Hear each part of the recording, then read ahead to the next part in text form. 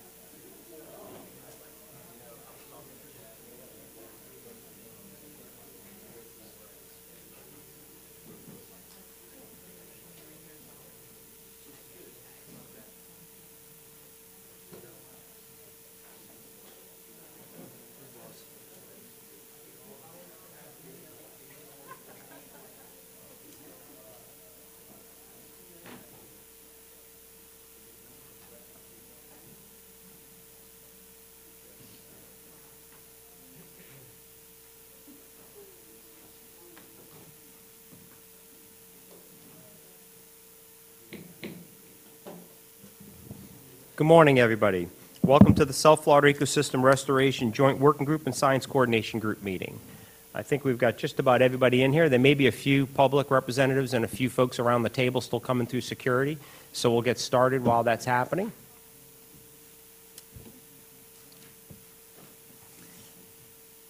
So I'd like to thank everybody for attending this morning. And by way of introduction, James Erskine, chairman of the group and Everglades coordinator for the South Florida, excuse me, um, the, I was going to say the South Florida Ecosystem Restoration Task Force again there and announce the meeting, uh, and Everglades coordinator for the Florida Fish and Wildlife Conservation Commission. Um, I'd like to recognize our co-chairs at the table here today, and I'll go right down to my left. Uh, Bob Johnson, National Park Service Chair of the Science Coordination Group. Nick Aumen, USGS, and Vice Chair of the Working Group.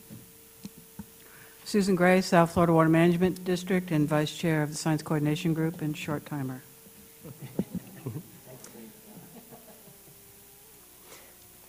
And why don't we go right ahead and go around the table for a quick whip around, and we'll start right to our left. Good morning. This is, uh, I'm Edward Smith. I'm with the Florida Department of Environmental Protection. I'm the working group representative for DEP. Good morning, Amy Castaneda, representative for the Miccosukee Tribe. Uh, Good morning, Kevin Kniff. I am the working group uh, representative for the Seminole Tribe. Good morning, good uh, Stacy Myers uh, with the uh, work Seminole, the Science Coordination Group, Seminole Tribe of Florida. Good morning, Deborah Drum, Palm Beach County Environmental Resources Management. Uh, Good morning, everybody. Uh, Chad Kennedy with the Florida Department of Environmental Protection, and I'm our representative on the Science Coordination Group. Uh, Brian Benscoter, Florida Atlantic University, here for John Baldwin, uh, also Florida Atlantic University on the Science Coordination Group. Good morning, Howie Gonzalez with the Corps of Engineers, representing Colonel Andrew Kelly, who sends his uh, regrets for n- not being able to make it today. Thanks. Good morning, Veronica Harrell James with the U.S. Attorney's Office here in representation for the Department of Justice. Good morning. I'm James Evans, Director of Natural Resource for the City of Sanibel and the Science Coordination Group. Good morning, Cecilia Harper, EPA Liaison to the Corps for CERP and a working group member. Rebecca Elliott, Florida Department of Agriculture and Consumer Services on the working group.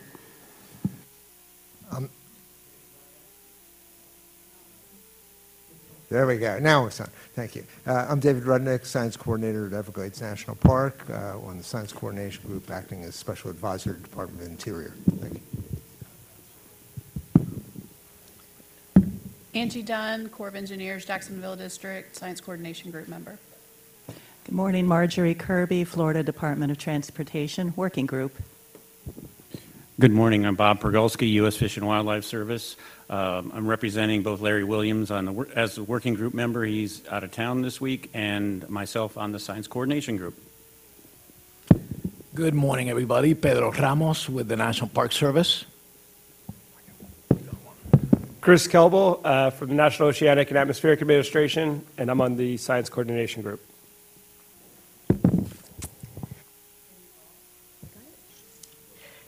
Penny Hall, FWC, representing Gil McRae. Good morning. Jennifer Leeds with the South Florida Water Management District, uh, representing the working group. Thank, Go ahead, James. There you go. Good morning, everybody. Adam Gelber, uh, Department of the Interior. Um, I wanted to take a, a minute here. Um, I really appreciate everybody's time to come to the meeting this morning. Um, I, I got the opportunity in a hall pass to go to the park this past weekend and spend some time in the bay. And, um, you know, it, it's, it's struggling a little bit right now, but all in all, the place is unbelievable. Um, it, it always, I've been going there for close to 30 years, and the place um, is full of life right now. And it, it, it always reminds me of the importance of you all here at this table that are the boots of the ground that are generating the science and helping with the policy in order to move this program forward.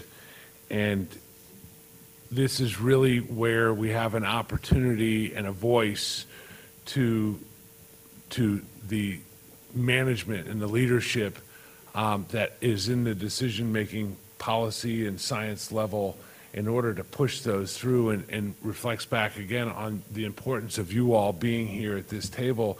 And today's uh, agenda, you know, is going to demand, you know, some, some regosity, some, some uh, fearless leadership and, and, and open dialogue um, to, to make this an effective group um, moving forward. So thanks for your time, and, and James, I'll turn it back over to you. Thank you, Adam. Thank you for the encouraging words. Um, Just as a few housekeeping notes before we get started here, I think most of us have met in this room before, but I will just remind everybody that the whole meeting is being webcast, and use our microphones clearly as we did on that introductions. Uh, There will be two opportunities for our folks in the, in the, in the audience today, in the public. There'll be two opportunities for public comments. And if anyone would like to speak during that public comment period, please fill out a card and provide it to our staff over here at, uh, at OERI. And note the relevant agenda item that you would like to speak on so we can tie that in appropriately. Adam, thank you for kind of kicking us off. I'd just like to, we've done an introduction, but I'd like to just allow any of the members on, on that whip around. We went through with the introductions, but if anyone would like to add some introductory remarks for the day, or if anyone would like to add an announcement for their day, I'd open the floor to that.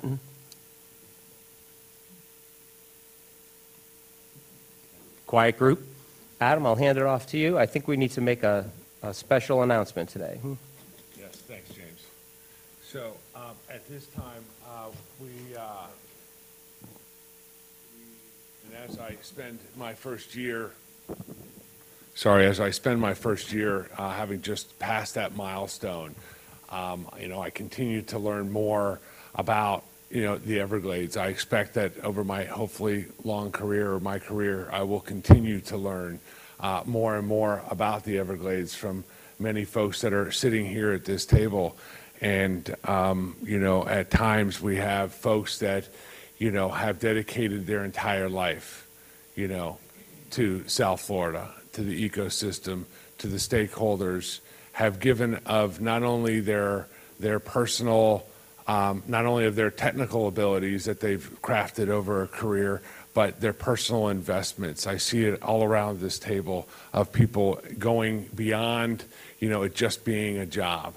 And, um, you know, we, we're here, going to take a little bit of time to, you know, celebrate uh, Dr. Gray's accomplishments since 1992 of working in the system and um, taking a moment to, to reflect back um, on, on a long career of being available, accountable, you know, in a leadership position here with one of the largest water resource agencies this country has, um, and what that takes and the dedication to achieve success and continuing to move forward um, in, in restoration, specifically and more supporting, you know, this group and, and the task force and, you know, others that she has mentored through her career and um, just taking a moment here to, you know, call out the attention and make sure that everybody's aware that this will be Susan's, Dr. Gray's, excuse me, um, you know, last um, uh, joint meeting, I believe.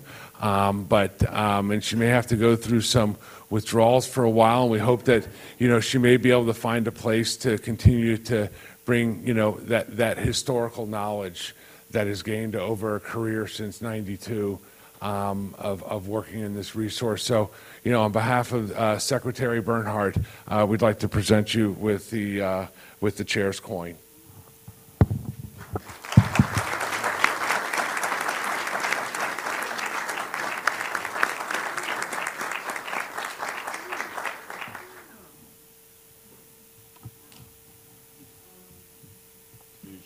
Keep it short. But thank you, everyone. And I know so many of you in this room and have for years, and you probably can't hear me. Um, and that's, that I'm going to miss, that day-to-day interaction. Um, the, the science that we do is next to, next to none in terms of complexity and challenges and uniqueness. And so just carry forth. It's an amazing opportunity for everybody who's here now and everybody coming up behind us. Um, when I came to the Water Management District, and I didn't think I would stay that long, I think they chained me to my desk. But um, I appreciate y'all, and that's really going to be the hard part about going. But on the flip side, I'm looking to have some fun, doing something completely different. So, thank you, everybody. And she's not getting off that easily. Uh, she found out I was going to make some remarks, and I think she has been a little worried about that. Uh, I, I really have treasured being a friend of Susan's and being a professional colleague for a long time. She came to the district in 1992, right after I did, and uh, we worked in a lot of the same areas, and I really valued her input and, and being able to talk to her about things over all that time. So she's retiring January 8th with uh, pushing 28 years with the Water Management District. But she had a storied career even before that.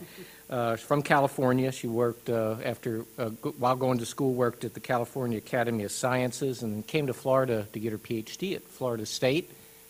We just, yeah, we, I'll just let that however that goes, and uh, then worked for DEP from 80, uh, 85 through 88, and then four years with a consulting firm, uh, Dames and Moore back then, and then uh, I know a great story before she came to the district. One of the, when she was still pretty new in that job, she got to run a very, very divisive and uh, controversial public meeting in, in, her role for that consulting firm. And I sort of, I think of those uh, instances as kind of trial by fire when you get thrown into people screaming at you and yelling at you. And she mentioned she had just had her child and was not in the mood to be uh, bounced around by a lot of other people, so maybe it was a tough time for them to take her on at that point. I don't know.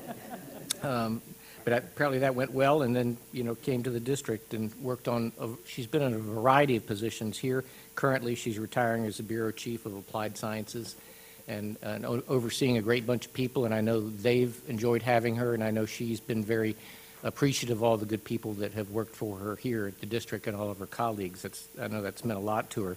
So we'll wish her off for a re very nice uh, retirement. And uh, I think there are two family members that are very happy about her decision, Jim, her husband, and Caitlin, her daughter. And uh, if you need any good artwork, Caitlin is very good at that and may help support Susan in her retirement. So you sure.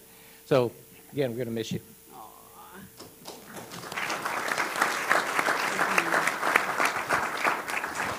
I was going to say if anybody else wanted to say something. I, I, I can't I can't let this pass. Just uh, and maybe Deb Drum can chime in. I mean, uh, um, I don't want to take up time of this meeting, but um, Su Susan and, and I and Nick um, and Fred Sklar and Deb Drum, uh, we've spent we spent years and years working together um, walk into Susan's office um, and uh, trying to, to vent my frustration and just see she's uh, cuddling with her pottery, going like this. This sa- keeps me sane. Because, because he would show up in my office at like 5:36. Yes. When I'm trying to like pack up and get out the door, and he would just sit down, and that would go another hour. but um, w- w- when I left, I, I know Fred Fred Sklar was f- filled filled that role uh, plenty. He was staying late and, and discussing emails that weren't completely read and mis- misunderstood. but uh, I, I, I want to reflect back though, just one one component of you know the days in um, well one in RECOVER how important your your work was in leadership of RECOVER, and in the Okeechobee division um, in the early days, and I, I think back at how you know, what a great group that was with uh, Karl Havens um, at that time. And um, having just come back from Gainesville, not Tallahassee, uh, from a Sea Grant meeting uh, where Karl was honored. Uh, and I was, uh, you know, thinking about, you know, your group then and just, uh, you know, the great work that, that- was done that kind of laid the groundwork for where we are today. So, and Nick, you were part of that too. But Susan, you, you deserve great credit for that. So thank you. Susan, you deserve so much recognition for all that you've contributed to this agency and to South Florida Everglades Restoration, and we're also grateful. And I just want to say, I know I don't speak just for myself, of all the number of people that you've touched with all of your knowledge and all that we've learned from you and the example that you set for us. And we had some really, really challenging issues that we all worked together, and I learned more um, really working at the Water Management District about teamwork and how people come together through tough times. And you were in the room for so many of those times. So really appreciate it. And uh, always remember all the laughter. We had some good times as well. So thank you for all that, that you've done and really wish you well and a well deserved retirement. Thank you.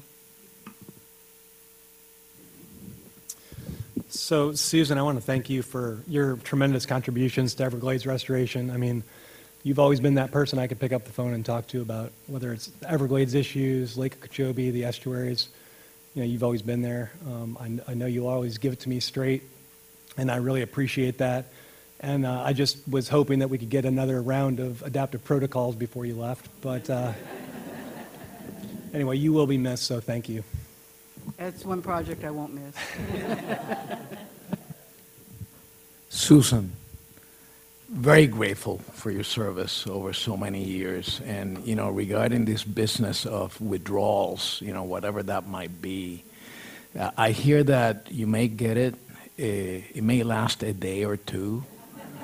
And if it lasts longer than that, I want you to know that we've got four amazing National Park Service units down here, and we've got just the right volunteer uniform for you. Thank you for your service. Susan, on a personal note, thank you for everything that you've helped me with along the years, both within this group, within your agency, and within, the, more importantly, within the science of the system. So thank you so much.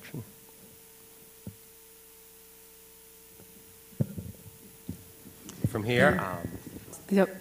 Susan? Um, Yeah, yeah, just again, thank you for being there, for so many touching base conversations, looking into things. You were always accessible, always helpful, and I will miss seeing you in the hallways and being able to catch up. So hopefully you'll visit sometime.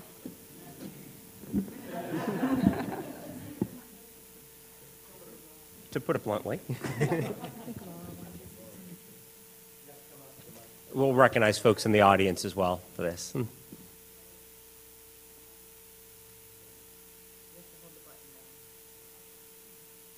I didn't know if I could crash the party, but Susan, I, I, I really appreciated uh, Susan's friendship and leadership when we were working on the adaptive assessment team together, and all of the things that you have done then and since then in terms of Everglades restoration. But most importantly, Susan and Caitlin have the record for the number of alligators counted at Loxahatchee National Wildlife Refuge.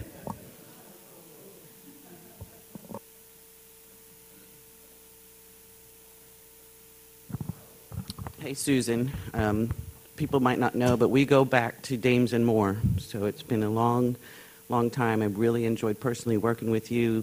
You've been one of my mentors in my career, and um, really appreciate that. And also all the work you did on Lake Okeechobee, the, the contributions that's given to the Corps of Engineers to help us on how we operate the lake. It's just you and Karl Havens started that to bring the ecology into how we operate the lake. So we can't thank you enough for that.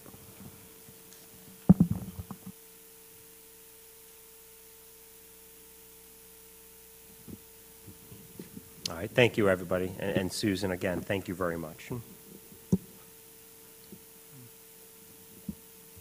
From here, I think we'll take into our first agenda item, which is the director's report on our task force meeting. Thank you, James. Um, In reflecting back on the task force meeting, um, I'm not sure how many of you, uh, some of you were in attendance at the meeting, maybe some have viewed it uh, online, uh, were watching it online while it was happening up in, up in Washington.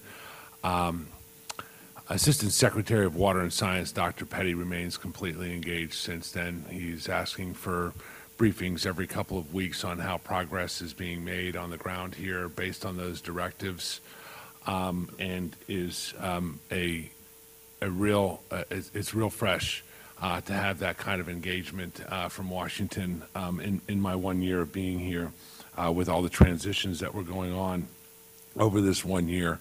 Um, I'd like to also just reflect for a minute back that, that, um, you know, I- uh, over this last year of my, my being here, I have learned a tremendous amount, and where that's led to me to believe is, is that we're like on that first step. We've got the foundation built, those folks that developed the framework for restoration, we, we've got that foundation, and taking that first step up the stairway to get up to that second floor, that top floor, is we're right there. We are so close you know, based on what I've learned over this last year, is um, really, really uh, hopeful um, of, of where we, we have yet to go. Um, and, and hopefully with Dr. Petty's leadership in the near term, we'll be able to, along with uh, Vice Chair, uh, the Secretary Valenstein as well, um, at the helm, um, and their directives that they had provided from the task force meeting, um, those being, you know, continuing to work on WERP and, and really, really working on that very hard, um, which, which has gone on, um, which has taken place uh, as we speak. Um, the- Also requests for integrated delivery schedule, which we'll be getting into later today, uh, one of the main topics for this afternoon. And I hope you all have plans to spend here because we need your feedback. Uh, The task force needs um, that, that, that direction um, in response to address uh, at the senior leadership um, locations. Uh, Also, one of the other items that we'll be discussing, if you haven't had a chance to look at the agenda, is uh, obstacles that we face. Also, we might be able to bring benefits. That's going to take a lot of work of this group as well to really get, um, be fearful, uh, fear, sorry, not fearful, fearless. Excuse me for that. Um, fearless, yes. Let me let me repeat that. Be fearless this afternoon in in in talking about those obstacles because that's that's tough. That's the tough work that we have to do um, in order to continue to reach those next um, levels of restoration um, to work through some of those issues that are here. Um, We're still working on the next dates. Um, The OERI is uh, for that. Um, Next meeting, we're, we're looking at uh, trying to focus on uh, April 21st, 22nd, or sometime during the first week of May uh, for the next task force meeting. So that is generally the overview of what happened at task force meeting. Um, And we appreciated all of the public support that was there and the public comments uh, that were provided to support the, the task force engagement. And I look forward to uh, Dr. Petty's uh, continued uh, guidance and engagement. Um, If there's any questions um, regarding that, I'd be happy to take them, but that's the brief report. Thank you, Adam. Adam, if I may, I'll add to it. Uh, The meeting was very well attended in the audience, but after the meeting, we were in DC, and I, um, some of the partners that are supportive of Everglades restoration and some of the agency staff did take the time to meet with some of the federal representatives, and I myself met with a number of federal representatives while I was up there uh, with our partners. And I found the message for funding for Everglades restoration and I found support for funding it, support for Everglades Restoration to be very well received by the members I met with, and that's good. It's good to see that, and it's good to see that bipartisan support in Congress. Mm.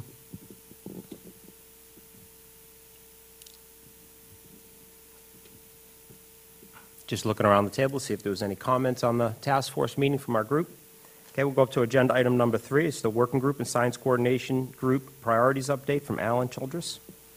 Alan? Thank you.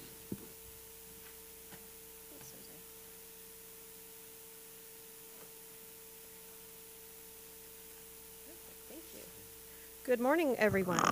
Can y'all hear me okay? Okay, fantastic. I am here in my bulky sweater representing all Floridians on this cold winter's day. We have to break it out when we can. All right, I'm going to be talking to you about the priorities that we started work on last year around this time. We had a good brainstorming session where we generated a lot of ideas, and we have more than what I'm talking about being tackled right now, but these are the two most intensive efforts that our office is engaged in with you, our members, and those are the system-wide ecological indicators or- and our invasive exotic species um, effort. And we provided an update that, to the task force at their most recent meeting to keep them apprised of what we're working on. As a reminder, we had established the system-wide ecological indicators as a way to look at the overall ecosystem health and response to restoration. We looked at this suite to be able to cover a variety of issues based upon the, the time and the space within the ecosystem that we were, we were looking at. So those have been chosen, they've been established for a while now, and we have a section related to them in our biennial report that goes to Congress. They also have their own more lengthy standalone report that has a lot more information for those who want to delve into the science and technical pieces of it. But what we wanted to do at this opportunity is to take a look at this list of indicators and try to figure out if they're portraying helpful, useful, correct information going forward from here on out. And if there's stumbling blocks in the way of being able to monitor and look at specific pieces, you know, how can we make this most useful for everyone looking at the information? And so we're going to be doing this. It's going to be a lengthy process. This is not a quick thing because we have to look at several levels of information on these. And we're looking at incorporating that into our 2022 biennial report. And before we start tackling the technical pieces of the indicators themselves, we wanted to make sure we spoke with the decision makers, the policy makers of this body, and trying to find out is the information helpful to you? Are you aware of it? Are you using it? Is there a way we can do better for you with these indicators? And we have um, my wonderful partner in crime on this is Laura Brandt in the back row. And we have started the interview process where we're going to be speaking with some of you, some of your next level up in your organizations as well, trying to get that feedback on the utility of this document and making sure we're providing a useful product for them. So that is the process that we're um, working on now. And we're going to bring that information back to you at your next meeting in February. So the SCG will have a chance to discuss, and the working group as well, to discuss the information gleaned from those interviews because I think that will be very informative to the process moving forward. So we're doing the interviews now. We'll come back and speak with y'all February 25th. And then we'll be tackling some more of those technical bits. And uh, um, Nick Aumen and his crew at USGS are going to help with that process as far as the logistics. He's able to provide some resources for that. Bob Johnson will be leading some of the technical discussions and moving that forward with a time frame of looking at beginning that technical discussion in spring of this year in April we're looking at to work on that. And Nick and Bob, do you have, or Laura, do you have any additional comments you'd like to provide on what I just provided as a very brief summary? Nick is good. Laura's good. Bob Uh, is let- not good. Let me start and just say, for us to have a workshop in April, we need a steering committee, starting like January. good. So think about that uh, as we go forward, and which agencies think you really need to be engaged in this. And we're asking for staff commitment to work on that. So I think that's the key thing. By February, we have to have a good start. Yes, we'll be working and using a lot of your knowledge, so everybody be prepared for this. Adam, you had something to add? Yes, thank you. I, I think that um, in, in working up to this, in the, in the run-up to it, I think Laura wanted to speak with everybody here at the table, Um, but, but that's just not feasible.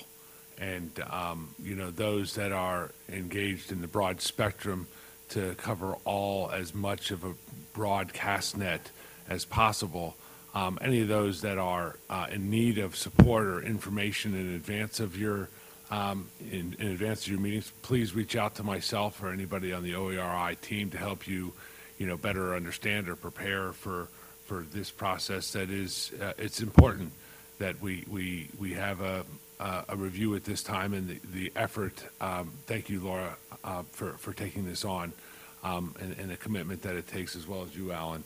Um, But uh, thank you in advance, just a quick note. Thank you, Adam. All right. And there's the contact information for Laura and myself. You need it. And the next major topic that is underway is looking at our invasive exotic species framework document. We have a strategic action framework that many of you helped us generate and, and develop starting back in 2013. So that document has been finalized as of 2015 and we were looking at freshening it up, making sure we're portraying current challenges and recent successes, new partnerships, things that are being achieved even since 2015. There's been a lot of movement and support and efforts underway on invasive exotic species from many of your agencies. So we've been looking at the document. This is just one simple graphic. I apologize, it's a little small to read, but we have established goals related to every phase of the invasion curve prevention, EDRR, early detection and rapid response for er- eradication, containment, and then the long-term management part. So that's the structure of this document. We're not looking at overhauling everything because the structure is quite good. Again, we just want to be able to update it and make the information useful for everyone. And we're looking to update that by this summer, tying in again with um, the other documents we have underway. So we have had some phone calls with members of your agencies and experts looking at these issues. We've all had agreement on the, keeping the basic structure and the four goals.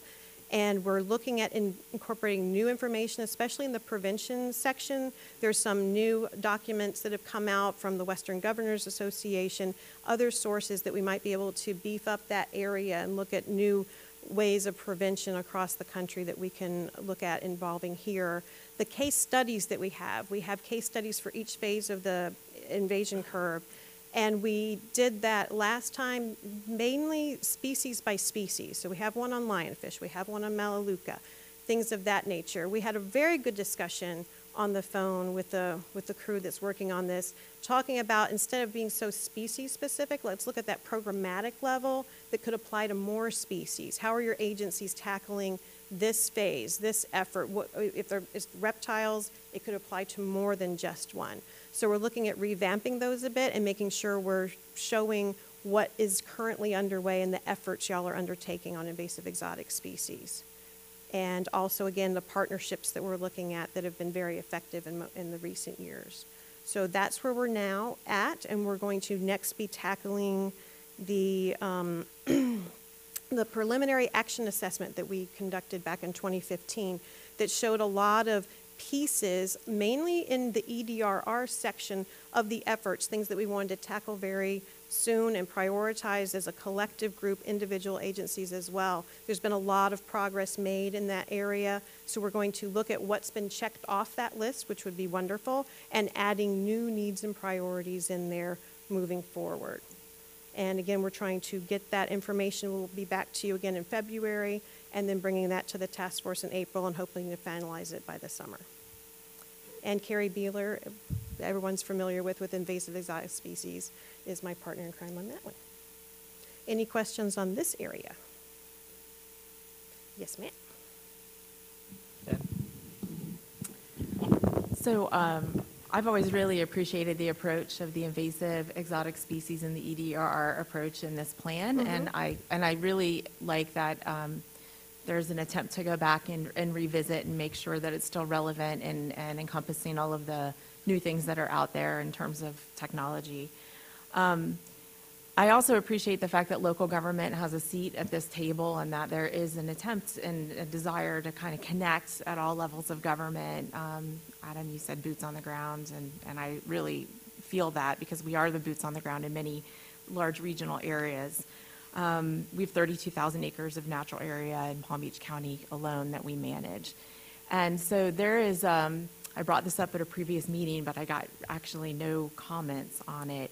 Um, some of the tools in the toolbox that we use in the, in the way of herbicide use. We, we discussed that, I'm sorry to interrupt, but Okay, yes, no. we did bring that up a bit in our most recent Oh, call. I'm sorry you weren't able to be on, but we did look at that as far as a management perspective and making sure that that's still a viable tool for natural areas. I'm Okay, sorry, that's yes. perfect. I mean, that's just an issue. So I just received word this week of additional municipalities that are banning the use of glyphosate in their municipalities um, in Palm Beach County.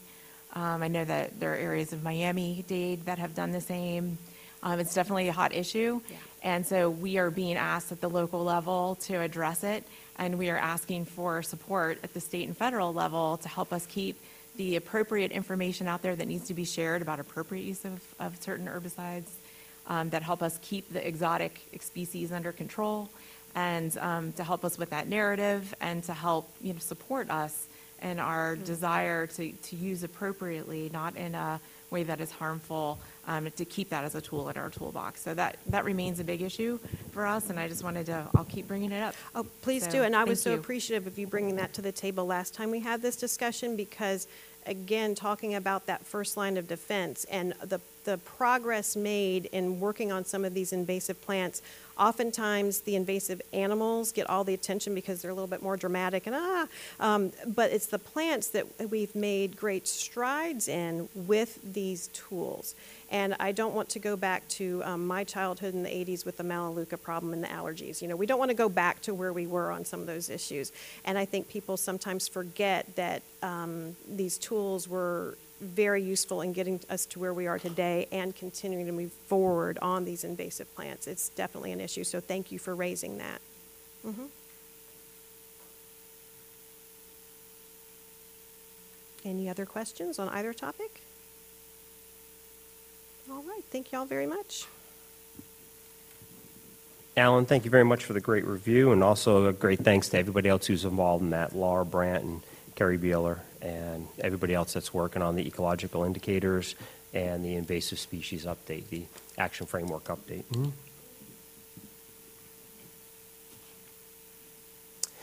Jennifer, would you like to introduce our next topic, please? I- Agenda item number four. Hmm. Yeah, it's my pleasure to introduce uh, Megan Jacoby, who's going to give the um, update on the district's program and project updates uh, that are under the um, uh, CERP program. And so with that, I'll turn it over to Megan to uh, tell you all about what we're doing. Thank you. Uh, those of you who know me know I'm not much of a talker, but I was sitting back there um, just thinking about things. And so, Mr. Chair, if I could have your permission to just go back to Susan for just a minute. Please, go right ahead, Megan. So I figured while I was up here and had the guts to do it, I would just go ahead and say it. Um, Susan is a, a brilliant scientist and a wonderful woman that shares her knowledge with everybody. Um, but what I have learned most from her is that in doing what we do, Everglades restoration is a very important and it's a very serious topic. But Susan has taught me that it's, it's okay and it's also important to add levity and humor to what we do. And I really appreciate that because I like to laugh and I like to add humor to things. The other thing that she's taught me is that it's okay to sometimes be the troublemaker. When things need a troublemaker, Susan is there, and she does it in the right way and at the right time. And so I kind of hope to carry that tradition on. so thank you. So, that being said, with a little humor, here's the presentation. You all have probably heard this. You heard this less than a month ago. But if you pay attention, there are a few little nuggets of newness to it. So first up, we're going to talk about the South Florida Ecosystem Restoration Projects, which include CERP and non-CERP items. First up is the C44 Reservoir and STA. The Water Management District has uh, taken on the STA functions, and great news, just uh, early this month, we were able to open the first three of six cells and let water flow through those cells.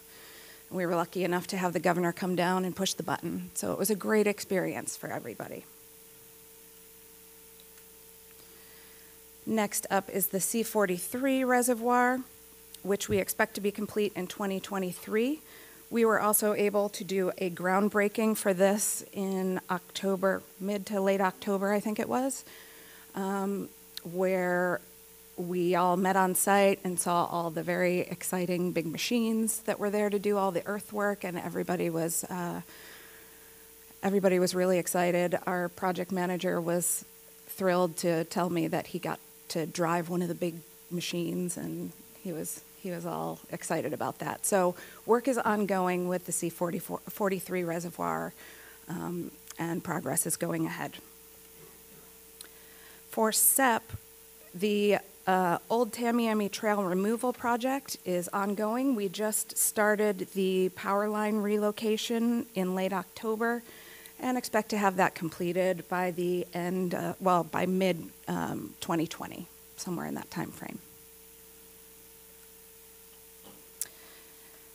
See, uh, the S333 North is a gated spillway that's going to provide existing um, the existing S333 with additional capacity. We expect that to be completed in June of this of 2020. And then the STA for the EAA. We have been working on uh, the final designs for the inflow outflow canal. We expect those to be complete in January of 2020. We have applied for permits for the A2 STA with the Corps and for the inflow canal with DEP. And we've also worked on site investigations on, on the site of the A2 uh, STA and reservoir. Biscayne Bay Coastal Wetlands, we expect to uh, be completed with the Phase 2 project management plan by the end of this year. We're also going to start uh, in, I believe, June, the June-ish timeframe, uh, the planning effort for Phase 2. In the meantime, Cutler Wetlands design has been reinitiated, and we've completed all of the culverts for L31 East. Moving on to some of our state programs, we'll talk about some of our STAs. We have currently 57,000 acres of treatment that were completed in 2012. The performance for those um, STAs shows approximately an 80% reduction, and that's even given some of our uh, larger slugs of water that have been going through in years like 2018. Um, and just as a note, in those years, you'll see that uh, that I'm not, not, sure if this is going to show up on the. Oops. Well, in that year, 2018, you'll see that was a very large water year. Um, so you can see a slight decrease in that performance, but that's just because the quantity and timing of water can impact their um, performance. Moving on to restoration strategies. This is a program that the state does that includes flow equalization basins, additional stormwater treatments to help our current stormwater treatment areas, and it increases our op operational flexibility. The L8 flow equalization basin is complete, was completed in June of 2017. This gives us an additional 45,000 acre feet of storage. The S375 expansion was completed in April of 2017. This will expand the flow capacity um, between STA1 East and West distribution, distribution cells. We have two expansions for STA1 West. The first one uh, was flooded early this year. The second one will assist STA 1 West and 1 East and provide an additional 1,600 acres of stormwater treatment area, and our design began, began in 2018.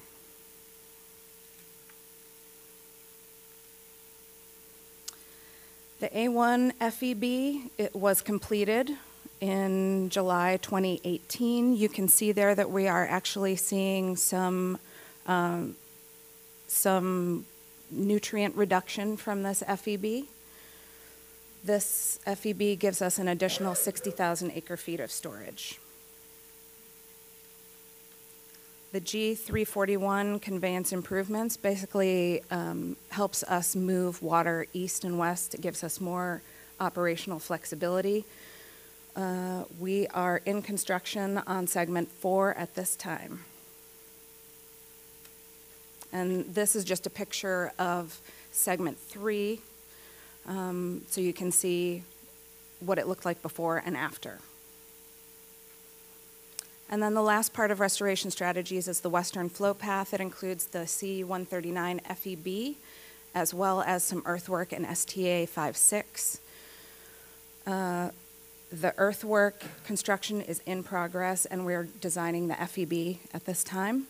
The other portion, the lower portion of the annex is state, is a state restoration effort where we're restoring former citrus groves to more, a more natural habitat. But that, that section is not part of restoration strategies. And with that, I can take any questions.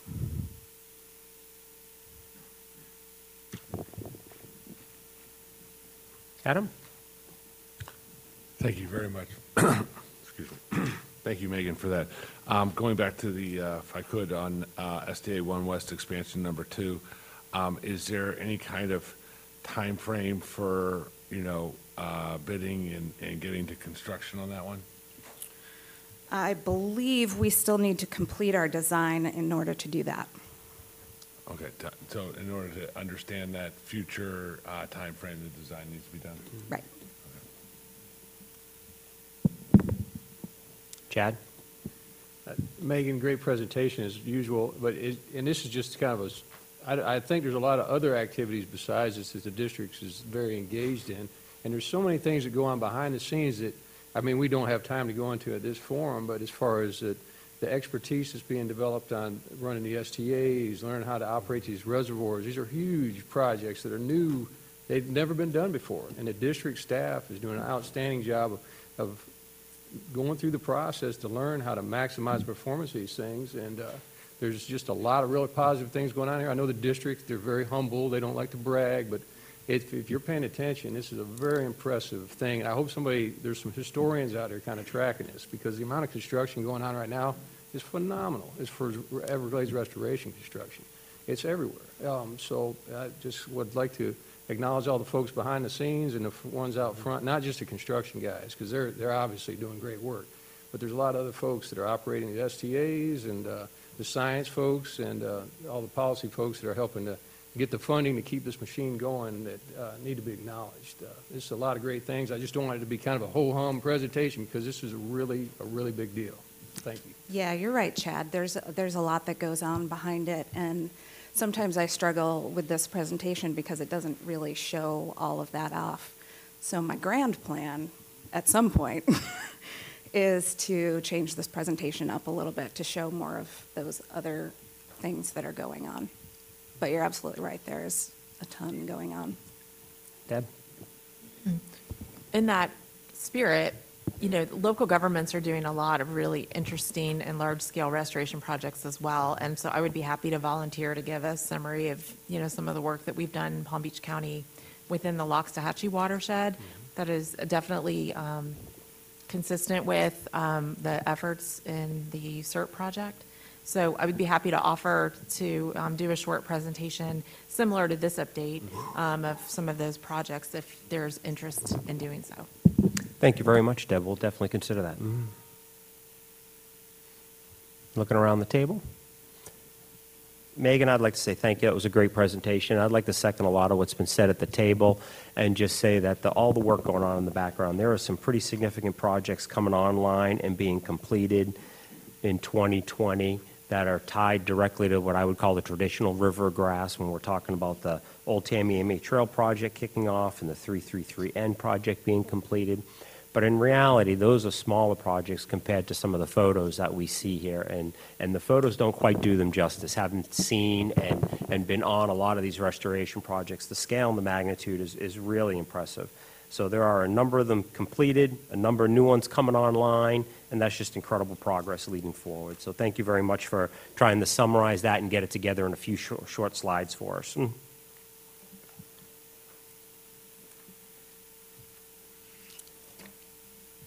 Well, at this time, I think, Megan, thank you very much. And we'll, well, I see we got a vacant seat at the table, so I'd like to welcome Howie Gonzalez up to the podium for our Army Corps of Engineers program and project update.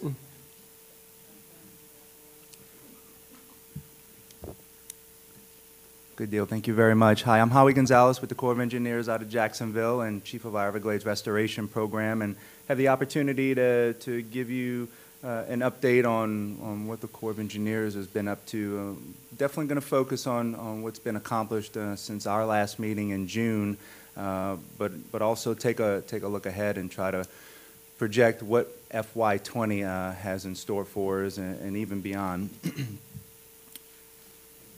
From a program overview, um, uh, many of us in this room have an understanding on, on why we're doing Everglades restoration. These are the, the key elements that, that I typically go to and, and realize that uh, every day almost I have the opportunity to, to sell this program, whether it's a, a, a new team member at the Jacksonville district, uh, whether it's a, a media interview, or whether it's um, a, a, teacher at my daughter's high school who wants to know why we're spending all of that money uh, on Everglades restoration. But, but ultimately, um, these are points that we can have to continue to, to emphasize with regards to the importance on why we're making such a significant investment.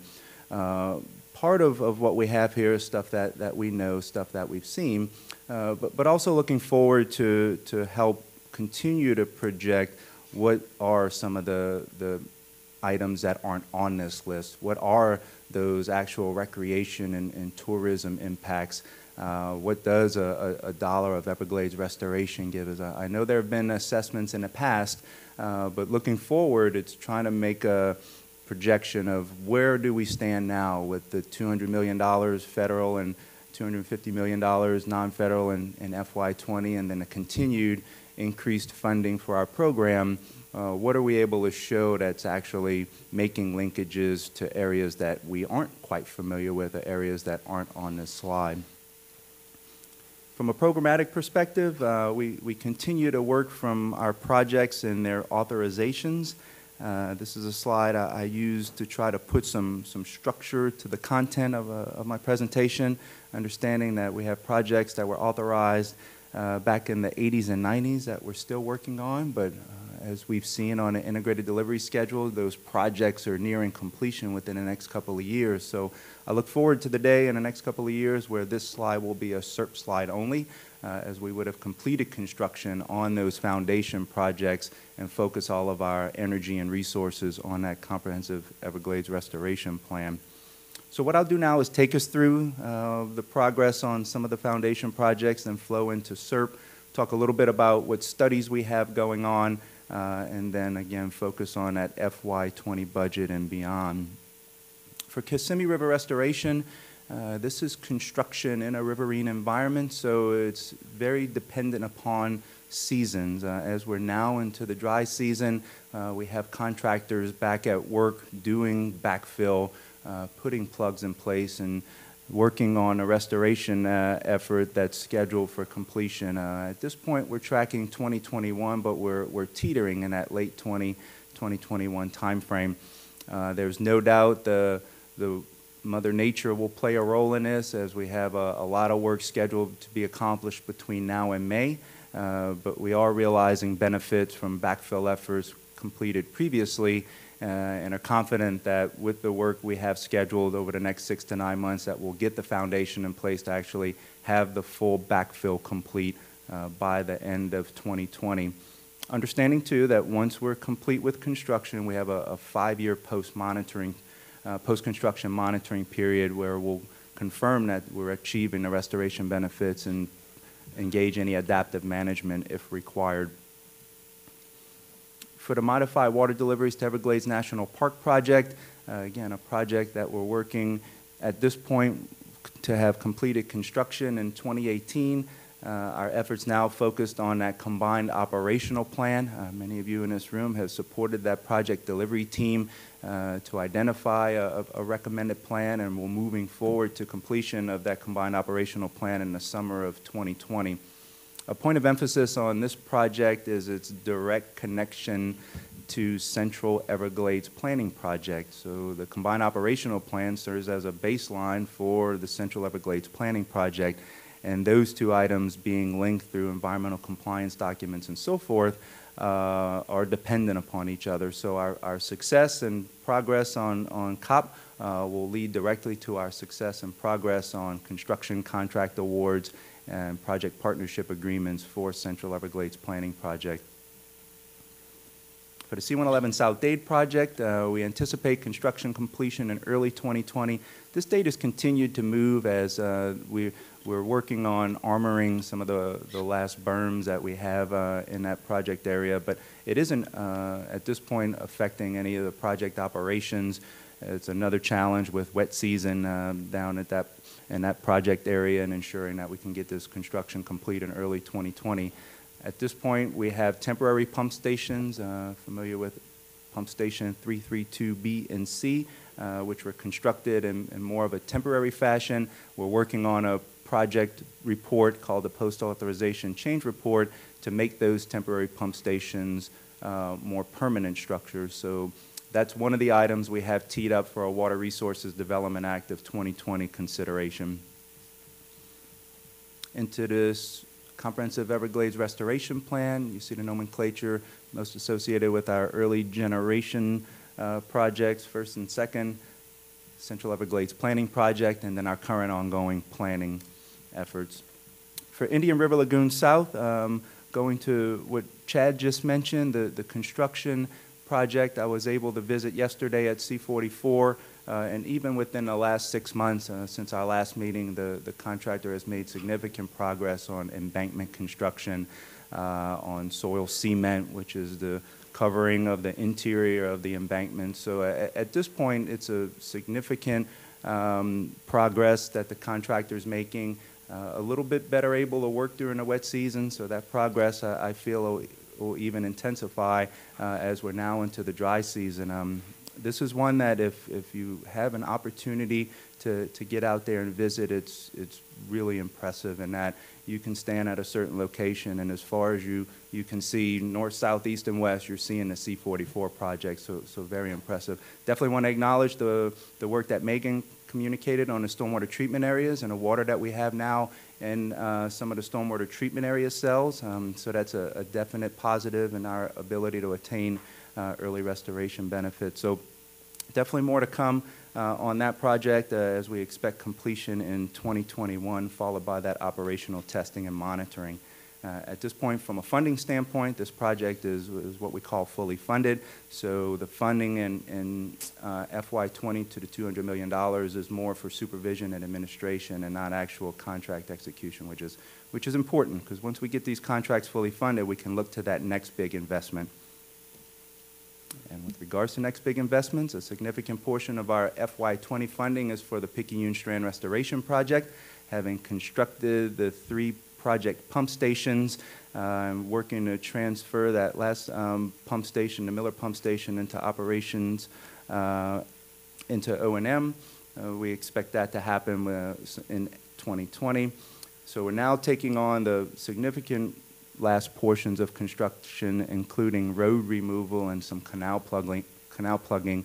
Uh, the Southwest protection features is to protect that 6Ls area uh, to the west, and we'll be initiating construction on uh, both conveyance and that protection feature in 2020. Megan covered C43. Again, our role with that is working closely with South Florida Water Management District uh, with regards to meeting federal standards for construction, and ultimately being eligible for work-in-kind credits.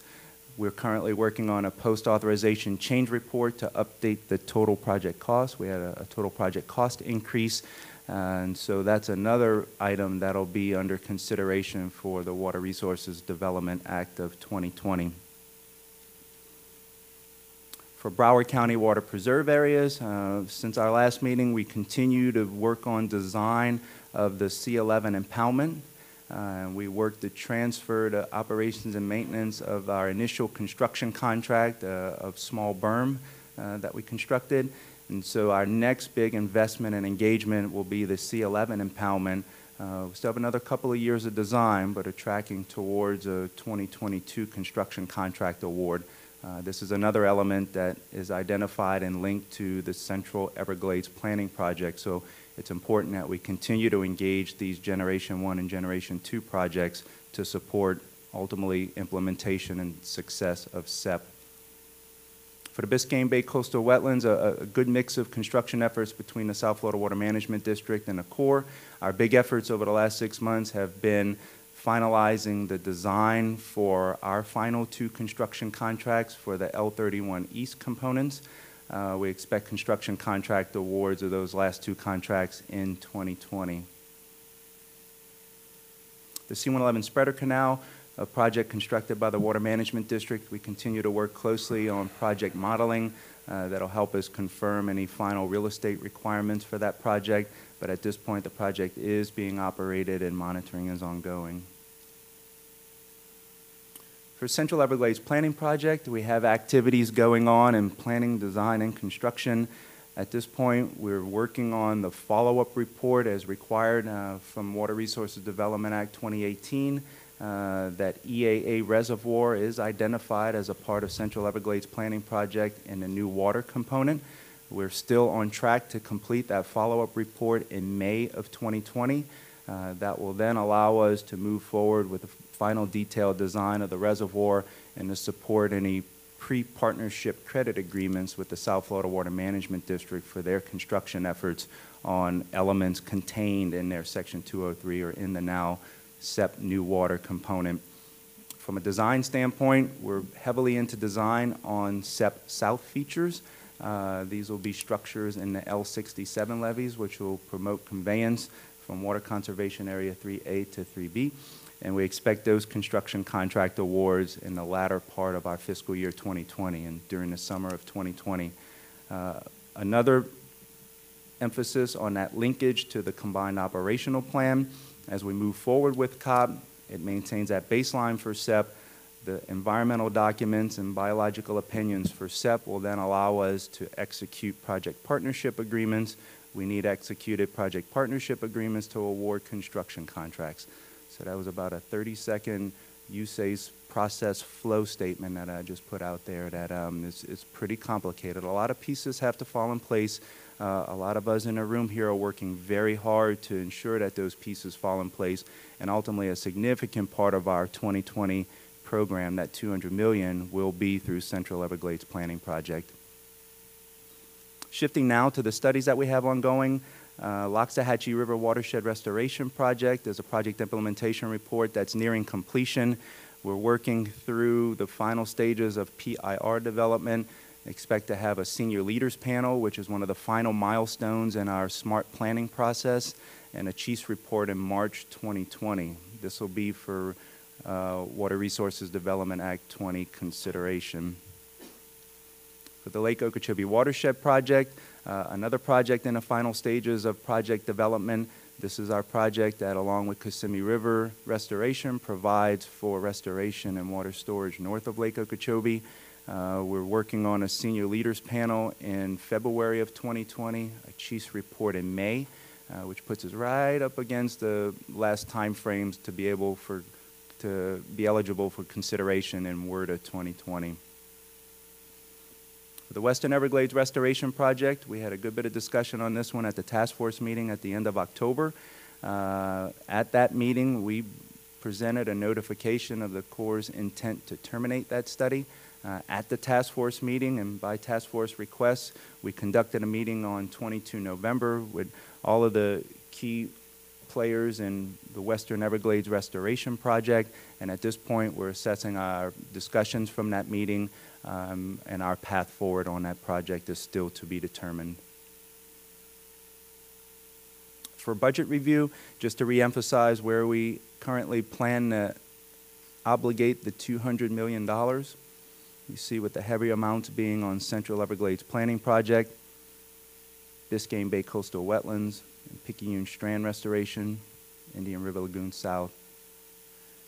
And what I want to emphasize at that bottom, that operations and maintenance, this is the first year in several years that we've actually received operations and maintenance funding in the budget. Uh, those funds are focused primarily on requirements of biological opinions, but sets us in a good position for us to request additional funds in FY20 to cover our CERP-related operations and maintenance requirements. So key takeaways, again, continue to emphasize our strong federal interests and our strategic partnerships, um, the opportunity to continue progress in all phases of what we're doing, from planning, design, construction, and, and ultimately operations and maintenance, which is where we achieve our restoration benefits. Interrelated milestones between our projects. Uh, you heard me emphasize the link between Combined Operational Plan and Central Everglades Planning Project. Those uh, are key linkages that we need to keep in mind as we look at project schedules and project resources. And then continued administration and, and, congressional funding. We have to continue to, to show that our integrated delivery schedule is our plan, that we have the ability, as you see in some of the out years, to reach close to a billion dollars per year. And that's just what we'll have ready from an engineering and technical standpoint to award construction contracts on. So we're ready. Show us the money. Lastly, definitely lots of good information, evergladesrestoration.gov. And with that, I'll take any questions. Looking around the table, Bob? Uh, Howie, I know the state was recently appropriated $50 million for ASR uh, investigation or wells for the Lake Okeechobee watershed project, and I just wanted to, how is that going to fit into the, the Corps' process in terms of the PIR and so on? And this may be a question for Megan or, or Jennifer too. I don't, I don't know. I'm just curious. Having just reviewed a document yesterday where I was signing off and trying to understand that, um, I'd just like to, if there's any information, that'd be helpful. Yeah, so I'll, uh, I'll take a stab at that. So um, within the PIR itself, we've also, um, we've got a lot of language in there talking about taking like a phased approach for implementing ASR.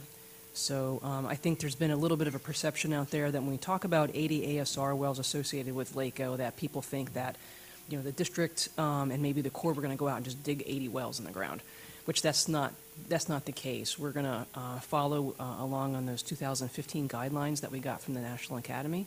Um, you know, we have two existing wells out there right now, right? So we're looking to refurbish those, um, and that's part of the 50 million that we received in state appropriations. Um, and they're also going to look to, um, you know, maybe put in some uh, two additional well clusters.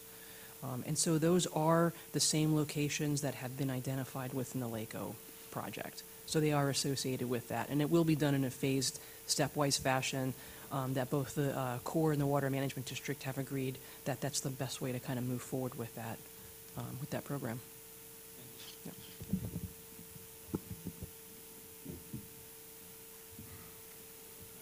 James? Thanks, Howie. Great presentation. Uh, I think it's going to be really important that we continue to lay out the economic consequences of not, um, you know, adequately funding CERP at the federal level and meeting our project milestones. I, I think we're making a lot of progress right now, but um, looking into the future, you know, on the IDS schedule, some of those numbers are pretty big, and um, it's going to take some significant funding to get those projects done and keep them on schedule. So I think it's just going to be critical that in our reporting, that we lay out what those economic consequences, whether it's to real estate values, to water supply, to the estuaries, whatever it might be, Lake Okeechobee, eco, you know, ecological impacts. I think that all needs to be quantified and laid out to our policymakers so they understand what it's going to cost the taxpayers of Florida uh, in this country if we don't achieve those milestones. So I think that's going to be important in the future. Excuse me. Pedro? Hmm. So Howie, I, uh, I just want to uh, emphasize uh, what I think I heard you say uh, in the context of uh, Western Everglades restoration. You acknowledged that there was a meeting on uh, November 20th. Uh, It was a good meeting, in my opinion, a lot of great conversation. Uh, The most important thing that I heard in your comments was how you wrapped it up, uh, path forward. And uh, that sounds positive. Uh, I think we heard it clearly from the task force uh, that uh, we need to find a way to restore the western part of the system. It is a project that's important to Big Cypress National Preserve and its natural integrity as well as important to the park. Uh, As you know, we have uh, trust responsibilities to the Miccosukee and the Seminole tribes. And our partners in the tribes uh, also feel very strongly about this project moving forward. You know, I, I acknowledge that we have bumped into some hurdles along the way, and some of those hurdles uh, may be complicated to maneuver through. Uh, But, you know, what I walked away uh, hearing from the task force and in speaking with a lot of people is that when there's a will, there's a way, and I sure hope that, uh, you know, that's the message that the colonel uh, received. Uh, I'm encouraged by your words. Again, a path forward, that's what I'm going to walk away from your report with, uh, with respect to, uh, to WERP, uh, because we need to uh, keep moving it forward, in my opinion. I also want to acknowledge uh, the fact that the chairman of the Miccosukee tribe uh, has sent uh, me a letter. I believe that he sent Secretary Bernhardt a similar letter as well, uh, expressing some concern about this, uh, and also expressing concern about several other items, uh, including COP, which you mentioned. And with respect to that, I, just want to make sure that uh, we all agree and understand that the tribe's concerned, concerns need to be seriously heard and incorporated into the work that's being done with respect to that project or that part of the project. Uh, Again, uh, the Park Service has trust responsibilities with both tribes, and their concerns are very important to us. A lot of information up there, Howie, a lot of moving parts, uh, and I, I really appreciate the partnership with the Corps and everything that the Colonel is doing to help us all move these things forward. Thank you.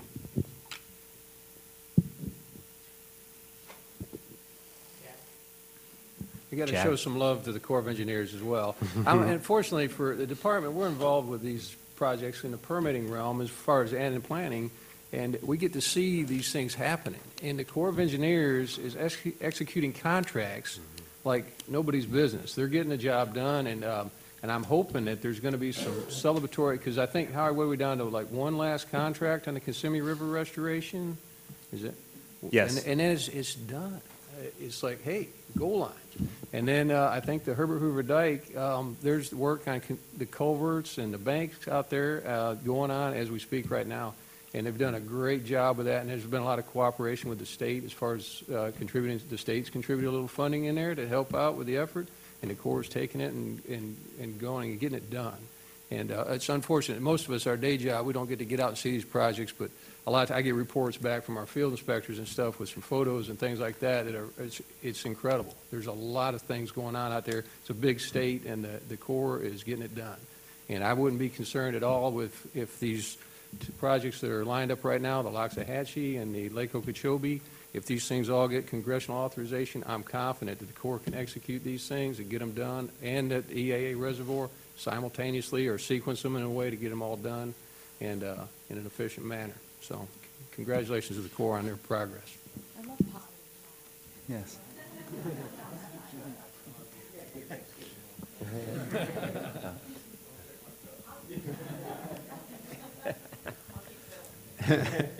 I just want to put a plug in for the work after the construction and on the operational side, because we forget about all the time we spend actually getting projects up and running. So a project like the combined operating plan, the new operational plan, that's going to go into effect next year.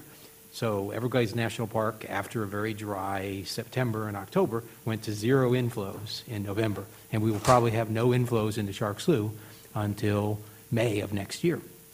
That's not a natural thing. It's tied to the current rainfall formula we have. So we work really hard to come up with a new rainfall formula that will go into effect with the new combined operating plan. And 600,000 acres of marsh downstream will see flows into the dry season that it's not seeing now.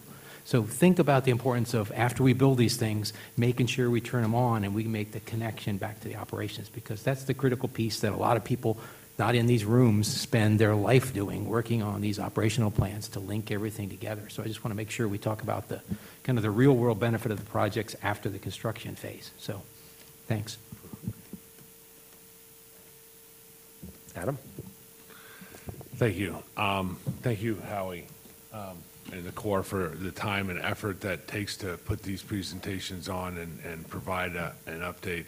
Um, You know, while, prior to uh, Superintendent Ramos speaking, I was thinking about the, the same topic here. I had some notes um, re- regarding WERP here to the group, and, and we appreciate uh, Assistant Secretary Dr. Petty and, and, and and the task force to, to allow the OERI and, and to put together the meeting for uh, the WERP, the WERP uh, group.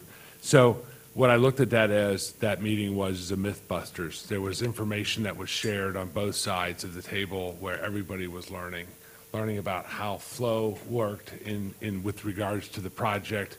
Folks learned at the meeting about what property ownership meant at the meeting, really got into the weeds on both sides, understood from, you know, both of the tribes' interests where they resided at this meeting.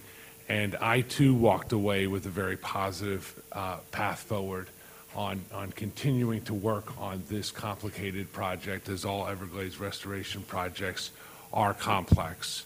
And that um, I look forward to the future of the project. And I believe that, yes, it was a- an episode of Mythbusters, but walked away with a very positive um, outcome and potential uh, future progress and that it is much needed, like Superintendent Ramos had said um, during his, uh, his brief uh, portion there. The, the solutions are in front of us. Thank you. Thank, thank you, Adam. Howie, I'd like to hit you with a question here. Bob commented a little bit about the combined operation plan. And in your presentation, you talked about the relationship to the combined operations plan to Central Everglades project. Could you unpack that a little bit for us, for everybody at the table? The link between COP and CEPP? Yeah, you were talking about CEPP building on COP and the relationship between them in your presentation. Right, so from a, from an operations standpoint, the combined operational plan gives us an, an alternative that, that'll be implemented to deal with the operations in the southern end of the system. So the Central Everglades Planning Project, uh, from a construction standpoint, relies on what the most current operational plan is. So if we don't have a combined operational plan in place, then the baseline that CEPP's using to say that as we build these project components, this is how they'll ultimately be operated, uh, is, is somewhat called into question. So from an environmental document standpoint, from our relationship with the U.S. Fish and Wildlife Service and, and what we need in a biological assessment for the work that we're going to do and a follow-on biological opinion, if COP isn't landed, then we don't have a firm understanding of what we refer to as the baseline for the Central Everglades Planning Project. So then the basis for which the documents that CEPP is built upon uh, is, is a little bit uncertain. So at this point, the, those environmental documents are necessary in order for us to say that, yes, we are ready to go forward, execute a project partnership agreement, and ultimately award uh, construction contracts. But understanding that, you know, the, the engineering and science that those documents are built upon uh, is what ultimately allows us to say, you know, what, what a biological assessment would look like, and, and it's making sure that the tools that we use to get to those answers, uh, that it gives, like, for example, the Fish and Wildlife Service, the confidence to say that, okay, we, we see what you're tracking on, we agree with your assessment, and, and ultimately are going to give you this opinion that says, yes, you know, this is, this is a sound project. So Uh, That's the, the main linkage between those two. Uh, There, there are other linkages that we established in Central Everglades Planning Project back in the original plan uh, that discussed predecessors to fully implementing CEPP and, and operating CEPP. Uh, That was the other linkage I discussed with regards to the Broward County Water Preserve area and having that C11 impoundment. But we always know as we go along and we see how projects work, we see how we have operational flexibility, uh, allows us the opportunity to, to revisit those prerequisites, revisit those linkages as we go along. But from a, from a product development standpoint right now, uh, landing COP is very important to us to be able to get to where we need to be this year on Central Everglades. All right, thank you very much. That was very detailed. Hmm. Mhm. One last time, looking around the room. All right, thank you very much, Howie. Hmm.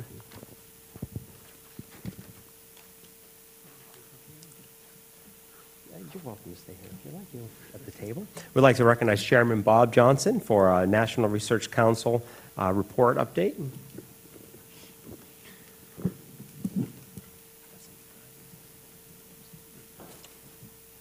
You want to use the pointer? No, I think maybe up there. I'll do it up here.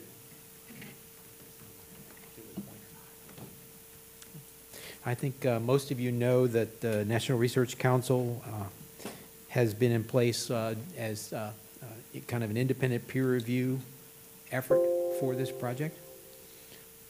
Yep.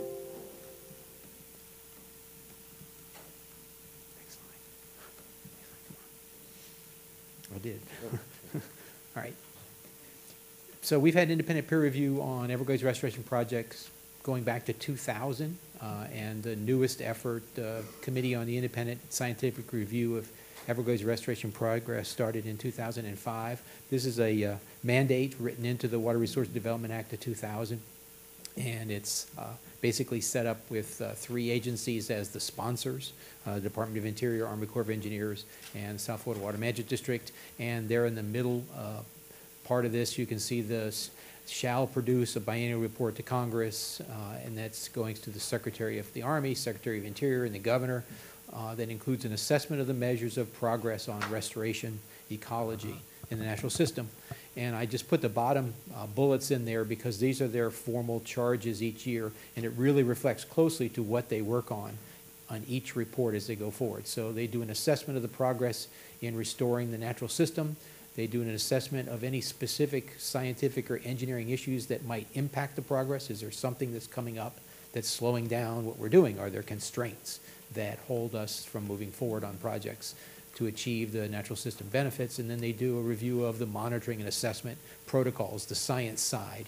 Are we monitoring the right things to measure restoration success at the end after projects are completed? So we're in the eighth uh, round of the biennial reviews uh, that began in May of 2019. Uh, We've had three open meetings up to this point. I don't know how many of you had a chance to attend them, but it started in April of 2019, uh, and then another one in August and then in November. Uh, There, the next uh, and last proposed meeting is scheduled for February of 2020.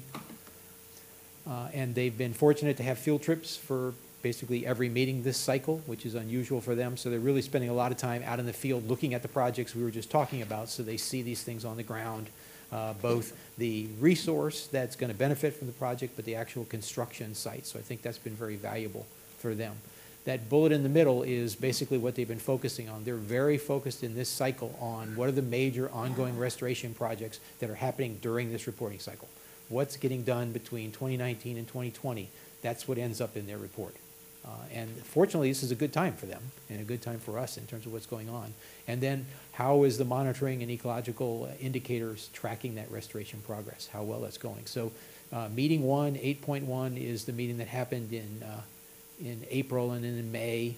Uh, And then they started at the southern end of the system, so they were looking at the central and southern Everglades restoration projects, the ones that Howie was talking about related to modified water deliveries, C-111, and uh, the beginning phases of CEPP. And they went out and saw the areas on the ground uh, in Water Conservation Area 3A where we're learning from the decompartmentalization and sheet flow restoration project. Learning specifically the importance of restoring sheet flow and to opening up the system. The next place they went on that day was to Tamiami Trail, and they looked at the importance of basically opening up the system, allowing the marsh to be reconnected across Tamiami Trail and trying to remove these obstructions to flow. So that's another important project that they learned about. And then we spent a lot of time along the eastern boundary of the park talking about the completion of the modified water deliveries in C-111 South Dade projects, looking at areas like the eight and a half square mile area and Las Palmas and what benefits we get as those project components move forward, as well as the C-111 South Dade conveyance system. And then the following meeting that occurred uh, focused on these topics. So this is kind of the agenda that they work their way through as they uh, go. Since this is the first kickoff meeting uh, for CISRERP 8, half the committee are generally people that are on the panel from the prior rounds, and then the other half, seven others, are people that are new or sometimes returning people. So we always do an Everglades hydrology and kind of uh, ecology overview for them to sort of try to get them up to speed quickly. The next thing we always do for everyone is a CERP 101, where we go over the goals and objectives, uh, what is the system-wide range of components that CERP covers, and then at a very broad level, what are the benefits and constraints that we're trying to address or remove as we move forward. And then we just started going through the major uh, initiatives that are happening in 2019 and 2020, and you can basically identify these as what's the big project delivery teams we're working on now. So we're working right now on the completion of the Herbert Hoover Dike and its associated operational plan in Lake Okeechobee. Uh, they wanted to know about the startup of the Central Everglades project, and, and that's going to begin with the southern components. So we spent a lot of time talking about the CEPP South components in the EAA reservoir, so the next thing out of the box. And then they spent a lot of time focusing on the RECOVER process, the, both the reporting side of RECOVER, which I'll talk about next, and also uh, the indicators that are used for that. And then they had a panel of stakeholders talking about perspectives on key challenges. So a number of stakeholders that are here all the time interacting with the task force and our uh, organizations spoke to the group about uh, challenges they see in terms of how restoration moves forward. And at the end of every meeting in this process, uh, the first meeting, they always ask for uh, feedback from the sponsors and other agencies on what were the things that were most, most valuable from their last report and were the things that they missed the mark on. And then they ask about what are the new issues that they think are important for us to tell them to work on. And so that's how they kick off their cycle each time. They ask what, what you gained from the last set of reports and what's the new things you want to make sure they include in the next set of reports. Uh, then we go into uh, the next meeting in August, and again, they had a field trip. This one was all focused on the Indian River Lagoon area, so they were able to get out on the water and see the area and also see the C44 reservoir area. And that field trip was focused on the health of the Indian River Lagoon and the status of the various uh, ecological indicators that we use to track the health. So they got uh, in the field information on algal blooms, SAV, and oysters, and then also the progress on C44 construction. Uh, going into their uh, uh, just finishing up their second meeting, this is the remaining topics they got into. Uh, they got into a discussion about system-wide water management, uh, basically how the water budget works. Uh, what are the constraints on moving water where we want to, like the constraints on moving water south, and then how do those constraints and uh, operations relate to the targets we're meeting. And then this meeting really focused on the estuaries. So there was a long segment on the conditions in the northern estuaries, and a long segment on the conditions in the southern estuaries under this argument that if you can get the southern ends, the coastal ends of the systems right, then you're probably operating the central part of the systems correctly. And so they asked a lot of questions about uh, how the conditions in the estuaries are today, how they are changing, uh, how are the CERP objectives being met. We spent a bunch of time talking about the status of blue-green algae in the northern estuaries. And then they always ask, how is new science influencing the decisions we're making on the targets? And so that's a, a key topic that follows through. This report uh, overlapped with the completion of the RECOVER System Status Report and the report card. So they had a section where we went through the indicators in some detail, talking about what is the current status of the system and what do we know about ecosystem health based on both the SSR and the report card, which I think they're very encouraged to have these types of documents out there. And then we spent a lot of time talking about the use of modeling in CERP. Uh, they got overviews on the various types of uh, ecological, hydrological, and water quality models that are used. We looked at three case studies, uh, specifically how modeling has been used in Western Everglades in the combined operating plan and for the interim goals and interim targets. And then they asked the question, uh, what are the key modeling needs? And how can modeling better support decision-making and adaptive management as we go forward? Uh, and they, they really spent a lot of time on that because they see this learning process that we go through, through things like the, the uh, incremental field tests we did. You know, we, we finished four years of incremental testing on the modified water delivers and C-111 project, and that went into the design and the combined operating plan. So that's the way they like to see projects move forward, where we build on the science and we adaptively manage projects. And then the third meeting in October started with a field trip at the southern end in Florida Bay and then Biscayne Bay. So they went out into the coastal areas uh, in uh, Florida Bay where they receive water from the eastern side of the park, water coming down Taylor Slough. We went out to the long-term ecological research sites, uh, one of the largest LTER programs in the country, sponsored by the National Science Foundation, is in Everglades National Park. And it's the indicator on the success of all the things we do upstream. And so we went to some of their sites there and looked at the role of freshwater flow on the nearshore environment and how that affects Florida Bay salinity and the downstream ecosystem. Then they went over to Biscayne Bay and they looked at the progress on the L31 East and the Deering Estate features and talked specifically about the restoration benefits that we see on the ground from those projects moving forward. And then these are the topics from the upcoming meeting. Uh, we spent a lot of time on the combined operating plan, kind of understanding how the operating plan has evolved over time, the historical context, what we learned from the incremental field tests, how we designed the adaptive management process that's supposed to tell us how we're going to do monitoring for the next five plus years afterwards. Uh, we had a presentation on the blue-green algae task force, uh, the key objectives, questions, findings that have happened. The last report had a recommendation to look at a mid-course assessment.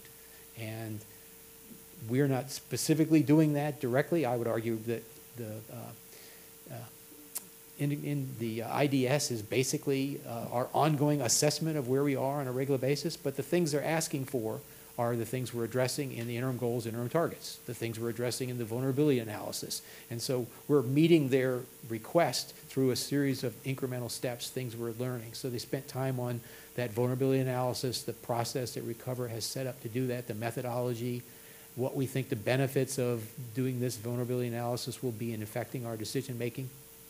And then that led right into how the, uh, the uh, interim delivery schedule functions and what information went into it to gain knowledge on why we make changes. Uh, what are the factors that lead to updates? Uh, and then how do these changes affect our ability to deliver benefits? And that's where they learned about the key dependencies and timelines for these projects. And uh, they had a panel discussion uh, on how, basically with managers talking about how science informs their decision-making process. How does CERP adapt to new information and learning? And this was the manager's perspective on how science is used. And then uh, the final topics, just uh, we're just having our earliest discussions, the liaisons with the National Research Council staff. And the topics that they're looking at for the upcoming meeting in February include uh, an update on the Lake Okeechobee System Operating Manual, uh, where we're going with that, where we are in terms of alternatives at this point. Uh, UF's Water Institute's report on Lake Okeechobee, they want to get a briefing on that, and they've talked about uh, there's a split within the committee on things that they want to go and see, and one group that hasn't been to Picayune Strand wants to go to the Picayune Strand, and another group wants to focus on the Caloosahatchee system. So I think we'll have two smaller field trips on this meeting just to make sure that people see the parts of the system they haven't seen before. And then throughout this process, we tend to have follow-up conference calls uh, that build off of what happened in the meetings. And this is the list of topics that they are estimating we will do some type of smaller group conference calls. Uh, the team breaks up into different topics, and you can see the same things we talked about before. They want to know about interim goals, interim targets results. They want to know where we are going to be with WERP as we go forward with the project. The trade-offs we faced in COP, all these various topics. So that's kind of where we expect to end up. Uh, uh, a report for CISRERP uh, 8 is expected around July of 2020. So you can see they have a very short timeline between their last meeting in February and the production of their next report. That's why these small uh, conference calls end up uh, sort of filling the gap. As they start writing their report, they find things they want to know more about, then they set up these calls. So uh, anyone has any questions at that point?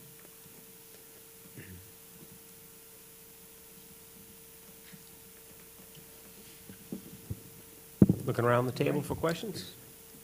Bob, thank you very much for the very thorough presentation. It's a good update. So after that last meeting, what is the anticipated time? Do you have any idea what the anticipated time between that last meeting and re- report production is? Yeah. So it's a, it's about four months to produce a report. That's the, that's the rough draft that mm-hmm. we, that sponsors get, and they start producing the, uh, sort of, the products that go out to the public, but, you know, the final published document doesn't come out for a few more months. But somewhere around July is their schedule for the production of the next biennial report in rough form, in draft form. Another 2020 date. Lots happening in 2020. Yes?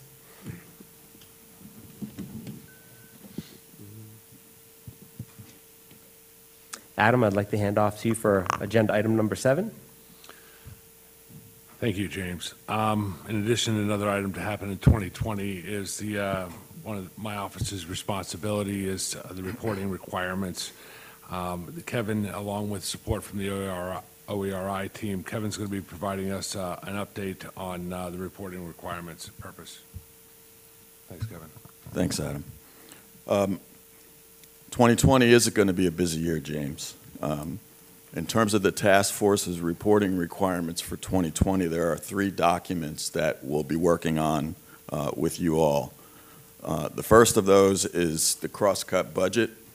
Um, The cross-cut budget is a requirement under WRDA of 1996. All three of these reports, actually, are required as a part of uh, the task force's uh, charter and uh, WRDA of 1996 statutory requirements. The cross-cut budget meets the requirement to prepare coordinated budget requests, um, which is specified in WRDA. So the timeline for the cross-cut budget, generally, um, the president and the governor release their proposed budgets in the February 2020 timeframe. So around that time, once we know that both the federal budget and the state budget have been released, uh, we, our office will send out a request for the information to incorporate that into the next edition of the cross-cut budget. So in February, the requests will go out to whoever the, the designated points of contact are for the, for the agencies. Around March, we'll, we'll anticipate a turnaround time around Mar- mid-March to late March. And by April or early May, uh, depending on if there are any delays, um, the cross-cut budget would be completed and would be posted on our website. The second of those, and probably the, the heaviest lift of the three reporting requirements, is the biannual report. Um, The biannual report, again, a requirement uh, uh, to report on restoration progress for the task force. Uh, We anticipate that that, that process will get kicked off in the March to April timeframe. Um, The reporting period will be July 1, 20, uh, 2018 through June 30th, 2020. So- But the requests for the information to be incorporated into that report will go out in around March or, or early April, uh, with an anticipated turnaround time around the end of June, uh, with the first version of the report that would be circulated to the working group in the SCG for review and comment. Um, In August, we would take whatever feedback we get on the report from the group, um, go back to the drawing board, do a final version of the report, and in the August timeframe, we would distribute it a second go-around to the working group and SCG for review and approval. Once we have working group and SCG approval for the report, uh, we would anticipate that around the October uh, timeframe of the uh, task force meeting, October-November timeframe, that we would have the approval of the working group and the SCG to pass the report up to the task force for final approval. Once we get final approval from the task force, then the document goes to OMB for final clearance, and then to uh, the Department of Interior, to the Secretary for final clearance, and then the report is transmitted to Congress.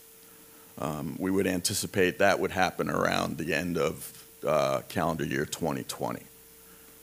So that's, that's the biannual report.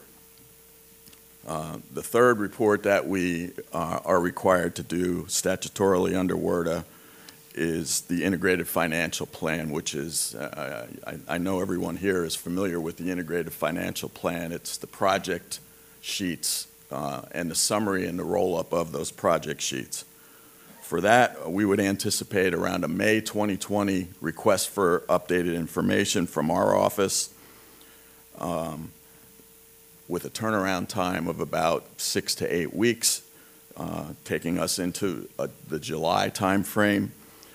And we would anticipate, as we collect all that information and consolidate it, that around September 2020 would be the release and posting of the 2020 Integrated Financial Plan uh, on, on the evergladesrestoration.gov website. Um, So that, that, that in addition to 2020 being the year that uh, the Corps is responsible to submit their five-year report to CERP on Congress, uh, to, to the Congress, we're going to have a pretty aggressive and, and uh, heavy, heavy lift to get all these reports done in the, in the timeframes that I've just laid out for everyone. So we really are going to need everyone to assist and cooperate in providing the information in a reasonably time, timely fashion. Um, With that, I'll answer any questions anybody might have about any of the, re- of the task force's reporting requirements.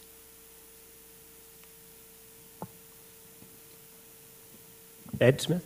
Yeah, Well, thank you for this. I think laying out these timeframes is, is a huge help for the department. I know it's, it's always a heavy lift to get all these things because we have to reach out to several a- agencies within our agency. So thank you for that. And, you know, we look forward to supporting any way we can and so. Thanks, Ed. Appreciate that. Kevin, thank you for laying out the dates. There's, again, like you said, a lot going on. And, and Adam, I'm going to look over to you and just let you know that we're going to be leaning on the staff over to RERI to get those reports all together.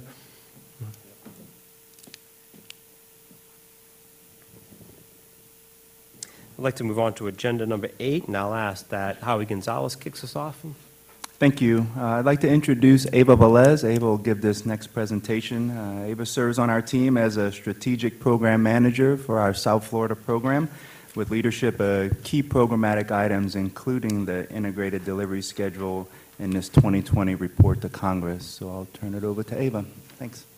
Thank you. Mr. Chair, with your indulgence, I- I'd like to take my opportunity to show my love for Miss Susan here. Please do. I didn't do it before because I thought I would get, you know, my chance here at the podium. So I have a lot of reasons to love Susan. Um, and although I have not known her as long as some of you, um, my time with her has been just nothing short of wonderful. And so one of the things I love the most about her is um, I used to walk around with a mug. I'm a big coffee drinker. And I used to walk around with a mug that said, I solemnly swear I'm up to no good. And it has a picture of the Marauders map, if any of you are Harry Potter fans. And so we- she and I are, so we were fast friends after that because I walked into a meeting, she saw my mug, and she went, I love Harry Potter. And a bunch of people didn't even know what it was. And I thought, okay, she and I are totally on the same page here. And so uh, thank you, Susan, for everything that you did for me, uh, how generous you were with me. And I will miss you, but I see you on Facebook and I have your cell phone number, so we're not going away anytime soon. So thank you. Thank you for that chance, Mr. Chair. So with all the reports that we have in 2020, I feel like I need to somehow incentivize y'all's willingness to work with me on this one. Uh, our report to Congress is due uh, next year, and I have provided some handouts um, that have a draft outline of the report, and it has a draft schedule of the report. A Couple things I wanted to point out. So our reporting period is Ju- July 2015 through June 2020. In, um, in the next week or so, you will be receiving an email from us with an official request for a point of contact. And my goal is to have the kickoff PDT January 28th. Um, and, and for the writers to work for the following two months. I'm hoping that we'll be able to leverage a lot of the information that is gathered for the South Florida Environmental Report that gets launched March 1. So I tried to stagger it so that we can leverage each other's information instead of recreating a bunch of things because we have so many reports in 2020. I can think of at least four major ones. Um, and so just wanted to make sure I pointed out that that late January kickoff. Um, April, we're hoping to finish with the actual writing, and then there's a lot, a lot of reviewing and, and letters from all of our agency leaders. So I wanted to finish on a very positive note. The, the last page of the 2015 version of the report has a to-do list, essentially, for the next five years. And if you take a look at it, we've done quite well um, the anticipated construction completions, we've, out of like 12 of those items, I think we've done 10, nine or 10 of them, and the other ones are under construction, just to, to make sure that although it feels daunting, what we have on our plate, as you look at our, our quote-unquote to-do list for the next five years, that was on the end of that, we have made, uh, if not actually hit the mark, we've made significant progress towards it on every single one of those items. So one of the, I I have like two things I wanted to make sure I highlighted. One was we, we anticipated planning effort completions. And so thinking of Loxahatchee, of Lake Okeechobee, and of Western, you know, all those were discussed today. And, and we're teeing up the ones that, that we can for 2020. And then under the uh, RECOVER in, in mission areas. There's one part that I wanted to highlight under evaluation and planning. We talked about continuing to update our performance metrics and, and all the science that is needed in order for us to make progress. And so I'll just put in a plug for our, our scientists here at South Florida, at Fish and Wildlife Service, at Audubon, at the Corps, um, and at the Commission for putting together the update to the Lake Okeechobee Stage PM. That has been years in the making, hasn't been updated since 2007, and it will go out for public review soon. So be on the lookout for that. Just thought I would end on that high note that we've made a lot of progress, and so I look forward to working with all of you. Thank you. Mr. Chair, that concludes my report. Thank you, Ava. On the Corps' report to Congress, looking around the table for comments and questions? Thank you for, thank you for that, and the uh, handout on the timelines as well.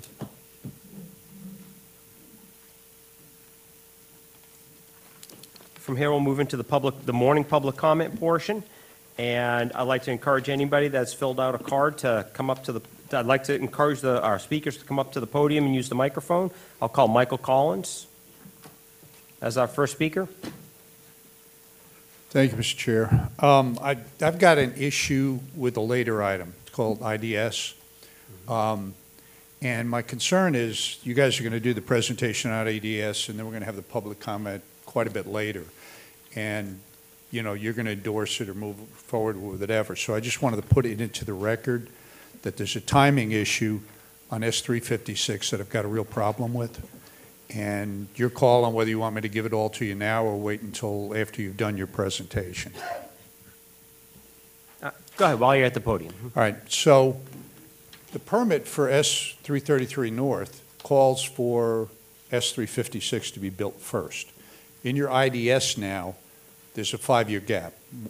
333 North is supposed to be done five years before S356. This has gone on for a while. I don't really know what the problem is but I can tell you, you're not going to be able to use a whole bunch of the components that you're building a plan for in COP if you don't have 356. I mean, it just it isn't going to work.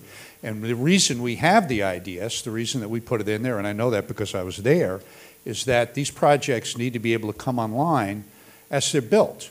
Now we have a reservoir upstream that has been moved up to the point where we're not going to have a conveyance system if we build it in the timeline that the politicians decided we want.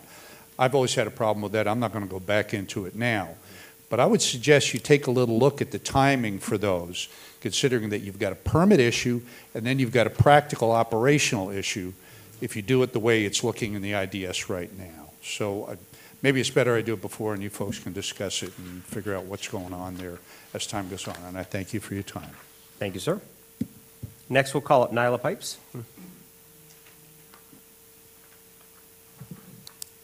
Hello, everybody.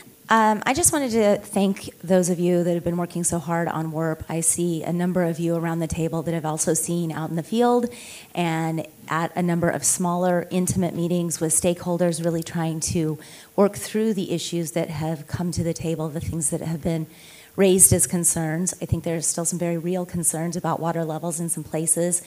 Um, but more importantly, I think that it's really good to acknowledge the extra work you've done, even though we're so far into the planning process, even though the, the public participation portion of things, perhaps some of the stakeholders missed out on those early opportunities.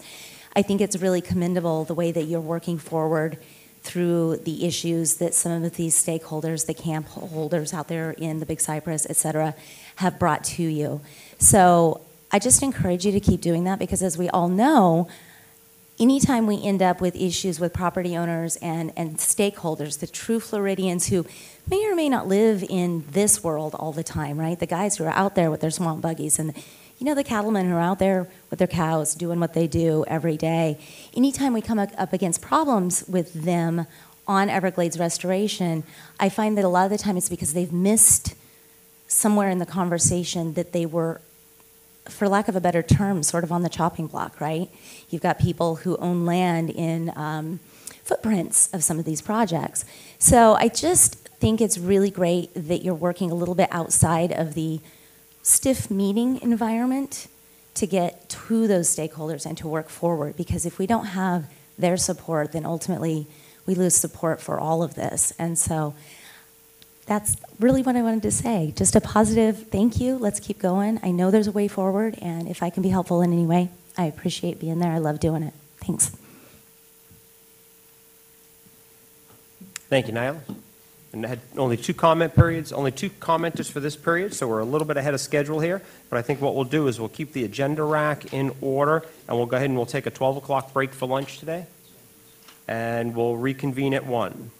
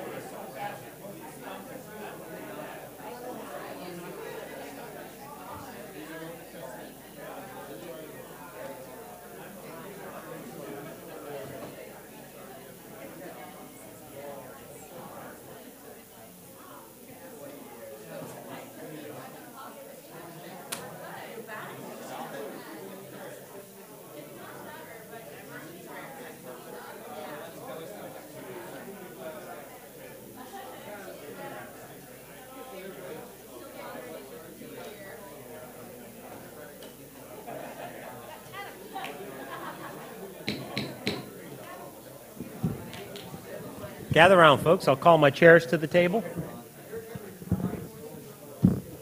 Co-chairs, come on up.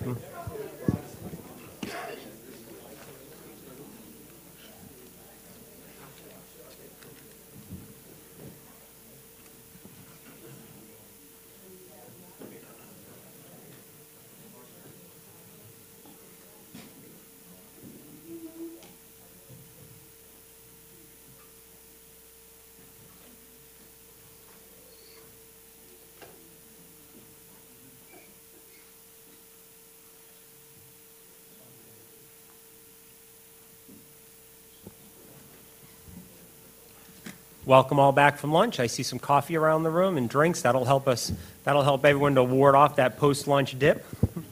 Um, Adam, I'll, uh, we'll go right right ahead and get started. I'll ask you to make some opening remarks for agenda item nine and set us off for the workshop here. Thank you. Yeah, watch out that you don't over-caffeinate yourself, so you can actually talk. Um, So, this afternoon's session is the, the, the part where we roll up our sleeves and uh, to, to quote Megan Jacoby all from this morning, to, to become troublemakers in some, in, in some way, shape, or form, because this is where we have to get some, get some work done and that we have a, a fearless approach to this afternoon's session. Um, regarding the integrated delivery schedule, what the task force has asked us to provide was options. That was what I heard. What, what are the options when it comes to the IDS? What the IDS currently represents is the best case scenario with the current funding based on they're having, they have that capacity. This is the maximum capacity that we have in order to achieve restoration. Um, and so for the IDS schedule, what we're looking for from you all is some guidance for the Corps in order to address the task force.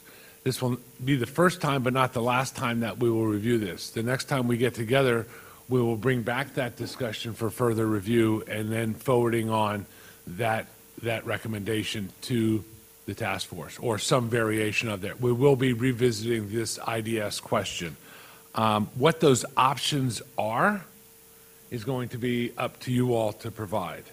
Um, I, I enjoy the scientific exploration process, so I'm not really interested at this point in putting bookends on, on my own personal thoughts on it, as opposed to hearing from you all that represent your agencies, your organizations, and so forth on what that looks like. Um, so I'm going to stop there on the IDS. The, the uh, agenda, I- uh, James, anything to add on item nine for right now? Uh, no, no, we can continue to discuss. Okay, all right. So at number, number 10, um, the task force top five action items. Um, You could probably go back and watch the task force and come away with top five blank and have four or five different responses of what those top five are. But what I'm going to, what I've interpreted it as um, is action items, actionable items, right? We're not talking about ones maybe necessarily that are um, on the priorities that we have, such as the exo- uh, exotic species invasive strategic action framework. Uh, We already have those. We already have a, a a way of discussing those. Um, What this looks like, again, I don't want to put necessarily bookends on you all, but challenges, interagency challenges. Do you all want to look at these as like some high-level buckets and then start filling in those buckets with item, agenda items? And, and how does this look like to bring those back to the task force for resolution um, of what those challenges might be? Um, Is it, is it always going to be funding? Is it, is it uh, policy issues? Is it, you know, water management issues? How do we resolve this? And again, just like the IDS, and and specifically, um, both of these items were actually brought up um, by um, Mary Wayne and, and uh, Secretary Valenstein. So, and, and the chair, Dr. Petty, had forwarded it on for us to address, just like talking about WERP. So again, don't want to put some bookends on it, but we're going to have to have that fearless approach to talking about tough things. And that's where we have to put up our sleeves and, and start trying to frame this up. And again, we'll come back to this topic again. This is the first blush at it, the first introduction of how, how, you know, some of the thoughts regarding this, and it's an open, really an open forum. So I kind of brought both of those together at one specific time to try to provide some, some framework um, of where we're going with this. Um, And the OERI staff will be helping out with tracking some of these discussion points to try to help formulate the, the ideas uh, that you all may, may have regarding this. So going back to the integrated delivery schedule, I think that uh, the program, um, Bob, Bob, do you have anything to add on this, Johnson? No? Ava, were you going to take it from this point? Is that where this was going to kind of review the IDS, the old one, or where, we- not the old one, the current one, excuse me? To kind of frame this up? Yeah, I grabbed a chair. I thought it might be a little easier, if that's all right. Yeah. Yeah, that'd be Chair. great. Review what we have in front of us. Yes, yes. So thank you. Um, On the, on the table in front of you, you have what we call our baseline official IDS. It's the one that was rolled out at the task force in, on October 29th.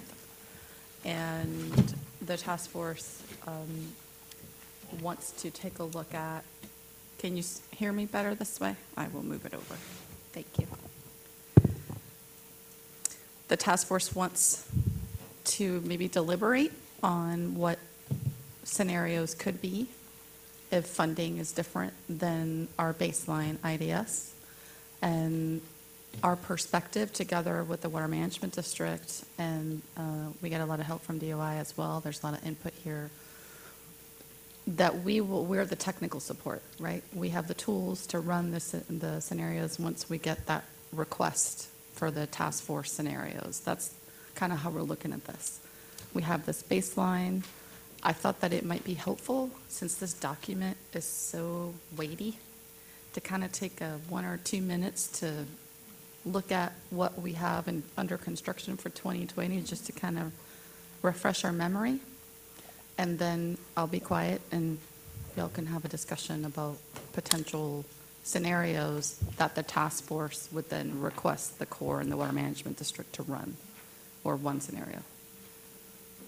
Does that make sense? Okay. I'm hearing an echo. Do you hear it? No?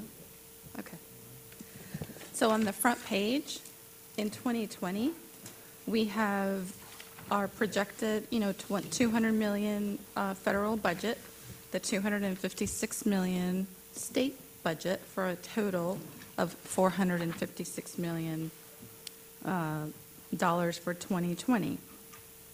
Just to orient all of you, at the bottom of that front page, there's a, a legend that describes what each of those symbols means. The one that you're looking out for is a solid line, whether it's blue, which means the federal is the lead, or whether, I'm sorry, if it's blue, it's state, if it's black, it's federal.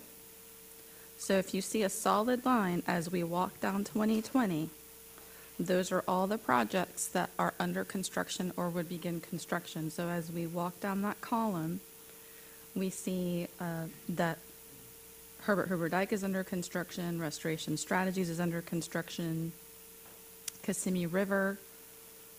We have uh, the beginning of the conveyance portion of the Southwest Protection Features. Uh, Core construction, uh, road removal, ongoing construction for Picayune Strand, C-44 Reservoir, C-44 STA and Pump Station, Caloosahatchee, uh, the C-43 Reservoir, continuing construction,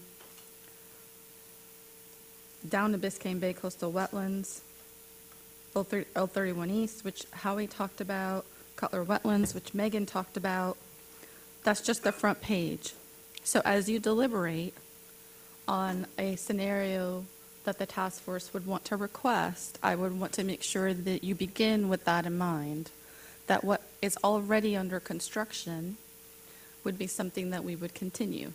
So the funds needed to continue construction would have to come off the, the, the beginning of the pile, so to speak, as you, as you deliberate about what kind of scenarios. Uh, we, we think that the sequencing and priorities that were set in the public workshops that many of you were a part of in 2015 uh, hold true here, and, and we would want that to continue. Um, And so as, as you flip the page to Central Everglades, which the whole, the whole back, this orange page is Central Everglades Planning Project. So uh, Central Everglades has CEPP South, CEPP North, and CEPP New Water. So if you look at those bold, bold rows there that show the three portions of CEPP, in 2020, we have uh, significant uh, improvements or, or progress with that. You know, you heard Megan talk to you about Old Tamiami Trail, which is blue. Um, In 2020, you have the structures in CEPP South along the L67 that Howie talked about. Those are the ones that are uh, really um, key that we make the progress we need to make in combined operating plan. So, um, Mr. Chair, you, you asked Howie the question of unpacking the connections between COP and CEPP, right? And so just giving you a very specific example here.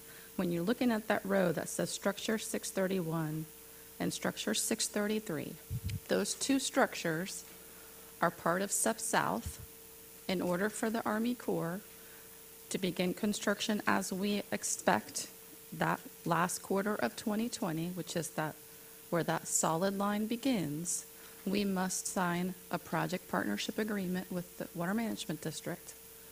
And in order to do that, part of that means environmental compliance that leverages combined operating plan. That's, that is a really specific connection of how the Army Corps plans to execute the 200 million in 2020, specific to CEPP South, which is the beginning of CEPP, and how that ties to COP. So as you move down, we've got an additional structure that's blue, which is S333N. I believe that was, I stepped out for a moment, I believe that was a subject of one of the discussions, one of the public comments. Um, And so the, the comment that I, I understand is, is the concern of the operation of S, of S333N and uh, the, the beginning of S356 pump station. So just to- to orient you where that lives on the IDS, if you look at the row that says increase S356 pump station, we have design, it's black, so it's federal. We have design in 2020, 21, 22, with construction beginning in 2022. Construction of S356 is expected to be a little lengthy because of where it is and because of its uh, proximity to S334. And so even though not all pump stations take five years, this one we're, we expect to take a little bit of time. But just to make sure that you know where that lives on the IDS, we're talking about beginning construction in 2022 for S356. The Water Management District began construction for S333N uh, last year. As you continue further down on 2020, construction is uh, shown for the EAA A2STA. And we've got design in earnest for the EAA reservoir, which is that black line at the bottom of CEPP.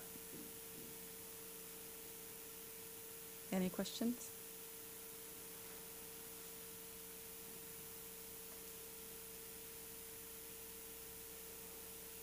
All right. I don't know if I stumped everybody or I'll turn it back over to you.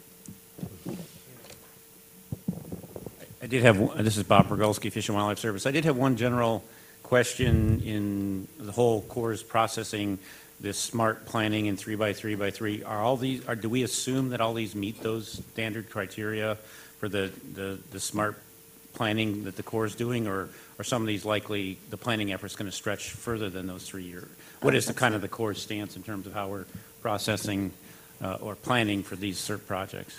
That's a really good question. So the features don't make it onto the detailed portion of the IDS until we're done with that. So the ones that are in planning are on the front page under white. If you go to the front page at the bottom, the white portion, that is what's in feasibility study planning stage. it doesn't come up, which is why this IDS changed so much, is because it's when CEPP, when, the first time you see the very detailed view of CEPP is this year. You had seen some of it last year, but when CEPP was authorized in 2016, changed in 2018, then it comes up to the top, so to speak. And then the numbers show up at the top is after smart planning, after that, that phase. Does that make sense? Okay. Yeah.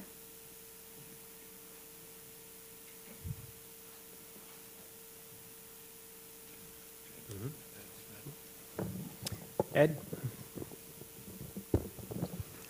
So uh, this is, this is something that DEP, we were challenged by Noah, uh, Secretary Valenstein, to um, go ahead and start thinking about a while back, um, before the task force meeting. He wanted us to kind of put our thinking caps on and, and see if there was a way we could create the alternatives, if you will. And um, one of the things we've, we've batted around an idea and something for consideration here, in order to not impact any of the, the project selection, you know, we don't want to, we don't want to touch with the prioritization. Uh, We think the prioritization is good, it's consistent, it's got a lot of public support behind it. We want to make sure that every project gets the attention that it deserves. So our thoughts were to work with the IDS as it is, but then create the alternatives based off of like the last five years average, you know, come up with an average funding. And instead of trying to come to a specific project by project, but look at, okay, so the IDS as it is, we get X projects complete by X time. And it's with X dollars. Now, we take that average dollars and we say that is a percentage less than what is on this IDS. So we can make a gross assumption that if it takes us 10 years to get a project and it's 100 million, and now in reality, we're only getting 10 million, so we would multiply that time out by 10 years. And tha- that's just a gross, you know, example for, for right now, but that's kind of where we were thinking, that you could come up with alternatives that say, okay, here's the average we've received, state and federal, over the last five years. And if we got this level of funding, here's how it impacts the timeline for getting those projects complete. So that way we can communicate the importance to our, to the state legislature. This is why it's so important that you keep the funding at the level, because if you back it down, here's how you push out Everglades restoration, and you don't get those projects completed in the timely manner they need to be completed. So that's just kind of an idea. We haven't put pencil to paper yet, unfortunately. I wish I had done that and had something to bring today, but um, that's kind of our thoughts, just one idea that came to mind. And the idea was try not to mess with that scheduling. We don't want to mess with the order in which we do projects, but just show how funding changes stretch out timelines. And, and of course, there's always the, you know, we're having to make some big assumptions. We know that dollar for dollar time doesn't work out. Like if you get 50% less dollars, it doesn't double your time to do a, a project. It could move it even further than double. And, and ultimately, it could increase the cost, or it will increase the cost, the overall cost of the project. So we would need to just make sure that those assumptions were clear in our whatever alternatives we came out with. That this is just a gross estimate and that there would be other implications that would happen by this. So, just a thought. Ed, thank you very much. That was a, a a great entry to this topic and a really good way to frame up the discussion. Um, Let's look around the table for some other ideas. And James? So I would agree with everything Ed said. Um, I think it's a little difficult to look at funding scenarios with a static placemat. I think this is a great tool, you know, for showing stakeholders or showing policymakers. But maybe we should think about using an online tool or some way to, you know, look at what, what happens to the schedule based on the existing priorities. Um, And, you know, look at it based on, you know, if, if you're getting a third less funding that year, this is what the schedule looks like, and we can carry that out. And I think maybe, you know, maybe you're going to have to do that online. It won't be, you know, a static placemat. Um, Otherwise, we'd have 20 different placemats we'd be handing out. I think it would be, you know, something to consider. Um, And I, and I think NOAA does that with like the sea level rise projections. You can plug those in and have numbers where you could plug in funding levels for each year, and it'll kind of give you an idea of what that timeline looks like. So something to consider. Thank you. And I'm going to, I'm going to continue going around the table here, but I want to make sure I open the invitation to the co-chairs here to jump in at any time. Um, And while we're talking about the James, you brought up a very important point, and that is the audience. And I think as in this discussion, we should keep in mind and frame out who the audience would be for, uh, for another version of this, for, for an alternative scenario placement. We had some hands over here. Yeah, um, this is Dave Rudnick. Uh, I, I just want to put the kind of the scientific context, some scientific context to our discussion of project schedule changes. Um, You know, while, while, if we extend schedules, that doesn't stop sea level rise effects that, which are accelerating. So the, la- the landscape is changing literally under our feet. Um, And there, there's, there was a logic to the sequence. I, I don't, also don't want to disrupt and re-argue that sequence. Yet it may be that um, the, the real world changes require us to reevaluate some elements of that. Not all of these, the distribution of, of ecological effects and societal effects of, uh, just, I'll just do sea level rise, but of course there's, other- there are other dynamics at play. Um, don't affect these projects equally, or their, our resources equally. So I, I think we, we really have to, you know, this is, this is not a simple accounting exercise. Um, the effectiveness, the success, the level of success of CERP, what, what we, what level of success we realize depends on these decisions. And we have, if we, we need to take into account sea level rise, climate change, other unmanaged uh, factors.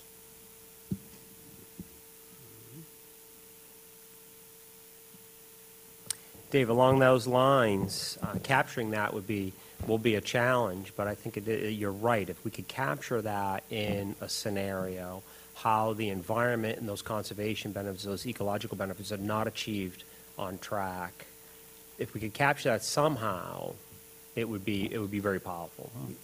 Just to add, we, um, an attempt within, reco- there's an attempt within RECOVER to develop a system-wide vulnerability analysis. That's an example of having a decision support tool that can help guide these kinds of decisions. Unfortunately, we're, we're late on that. I mean, it would have been good if we had it 10 years ago. Um, It's in development. Uh, it- And we've been warned by the CISRERP, uh, at least some members of the panel, in advance of their, their uh, next report, that uh, that kind of analysis can take quite a bit more time. So we- I think we, we may need to find some ways to expedite that kind of um, decision support. Not, not necessarily that, uh, completing that modeling analysis for this, but uh, having that kind of information, being informed for the, for this set of decisions, I, I don't know that we, anything is more important than IDS as far as uh, set, setting our course uh, wisely. Ava? So thinking of that, I wonder whether it might help to take a look at it the way we presented it at task force, which was by region. If you recall, just to pick one of the, one of the indicators, there are so many, uh, it's overwhelming really, as we look at this, the scientific indicators.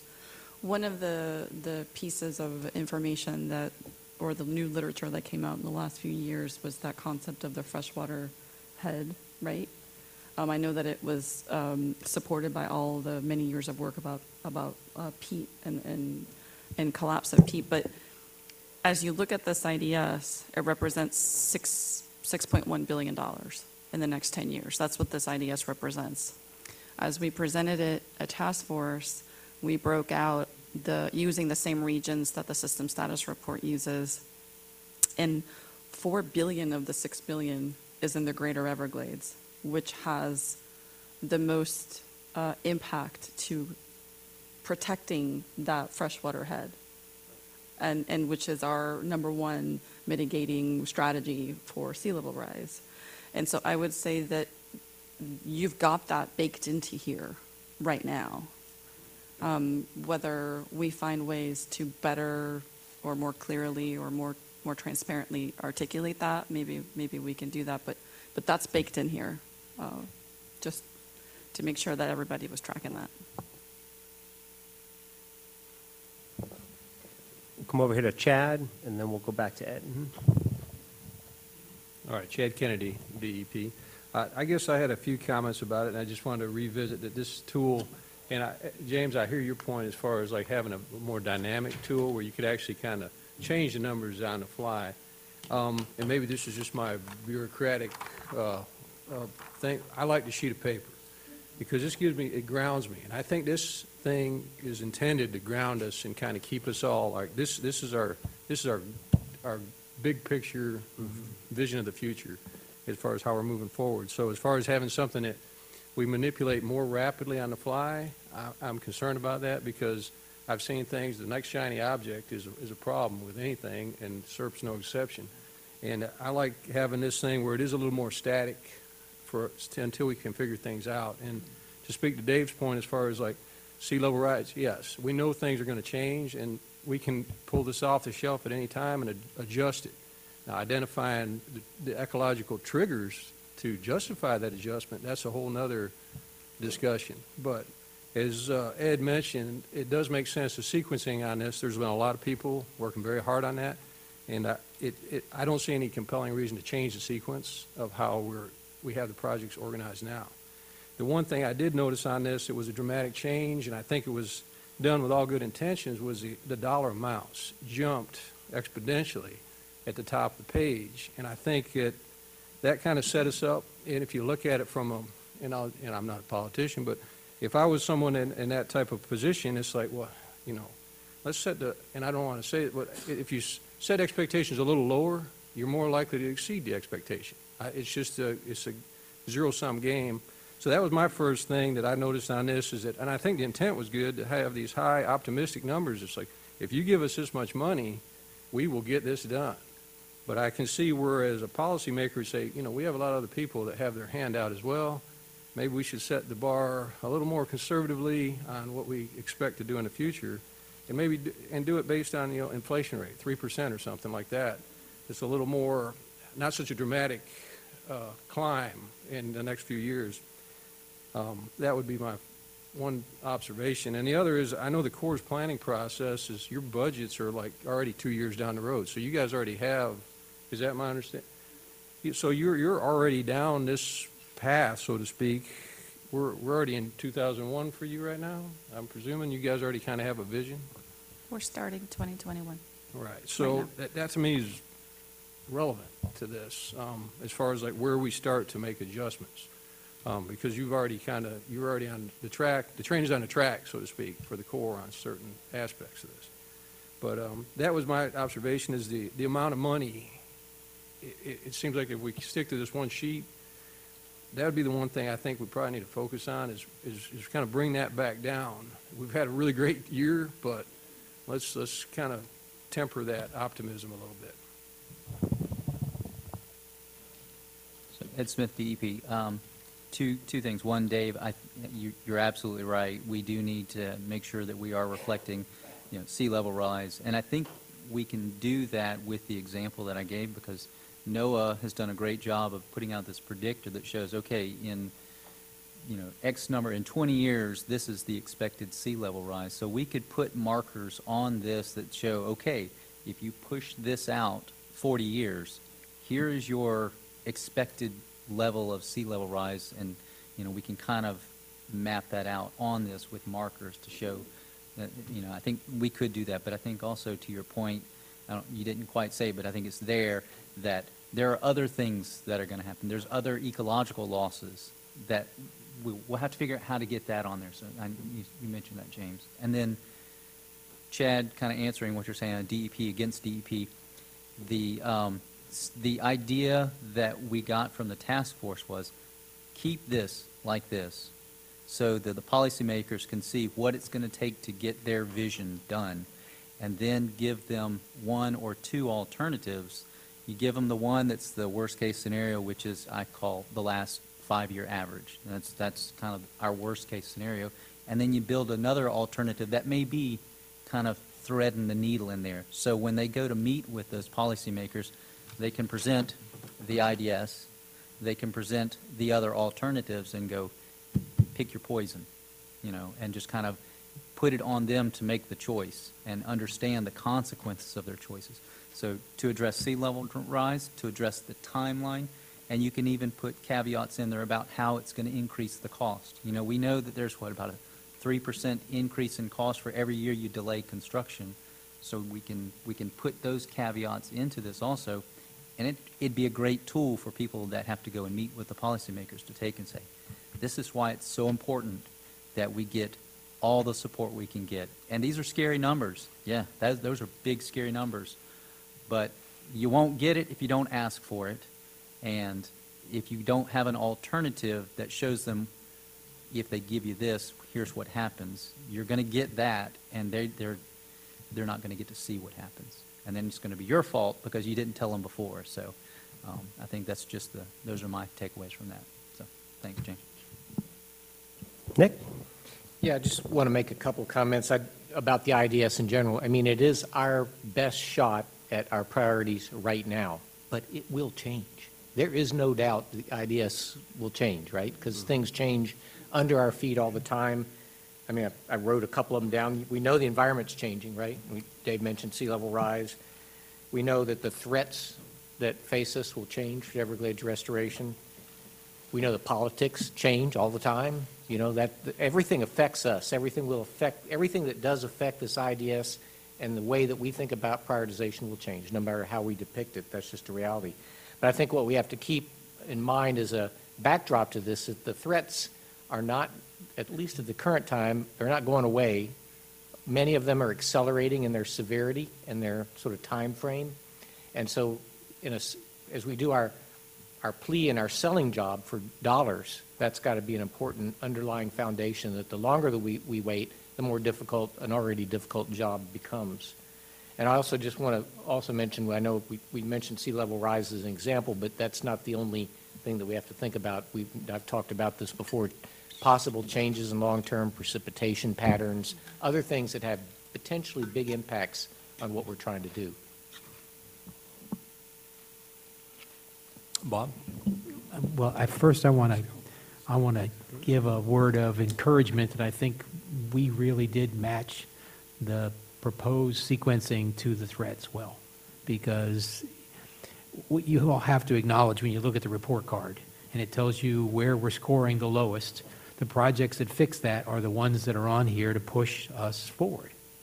So I think that's a message we all have to carry. And I, and I, the fact that this looks like a seven-year mortgage with a big balloon payment comes is because we know what happened. We did not do the payments for the first X number of years at $400 million like we said we were supposed to.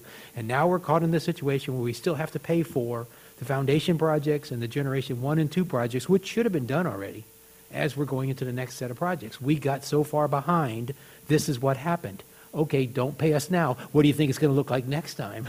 It's only going to get worse. So you, at some point, we have to figure out how to catch back up. And you don't catch back up by dropping below where we are.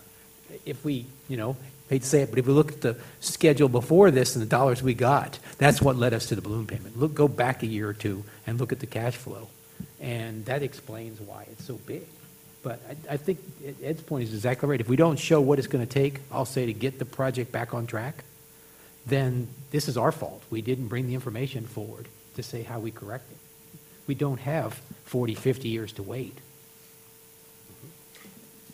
That, that's a good point. I'd like to add in that if we, it, we should think carefully about a low, medium, and high scenario because people might have a tendency to gravitate towards the medium scenario in that. Um, Chris? Yeah, so one of the things that, that we haven't really talked about, we've been talking around it, is the criteria of how we sequence projects. And I think laying those out really well would be the first step in, in figuring out whatever scenario we go with. Um, and the, the sea level rise discussions got me, got me thinking about it, and most familiar with the coastal systems, and like Biscayne Bay coastal wetlands is one of those projects where it's, it would give us benefits against sea level rise, because sea level rise is a slow process is punctuated by major events like hurricanes that cause dramatic losses, and Biscayne Bay Coastal Wetlands is to protect against that. However, if we wait too long to do it, we won't be able to do it, and, and, it- it- and there'll be losses like that. So we need to think about those types of criteria that we need to make sure we include when we think about sequencing and think about, especially as we prioritize low, medium, and high in a limited budget, what are the things that we absolutely have to do right away?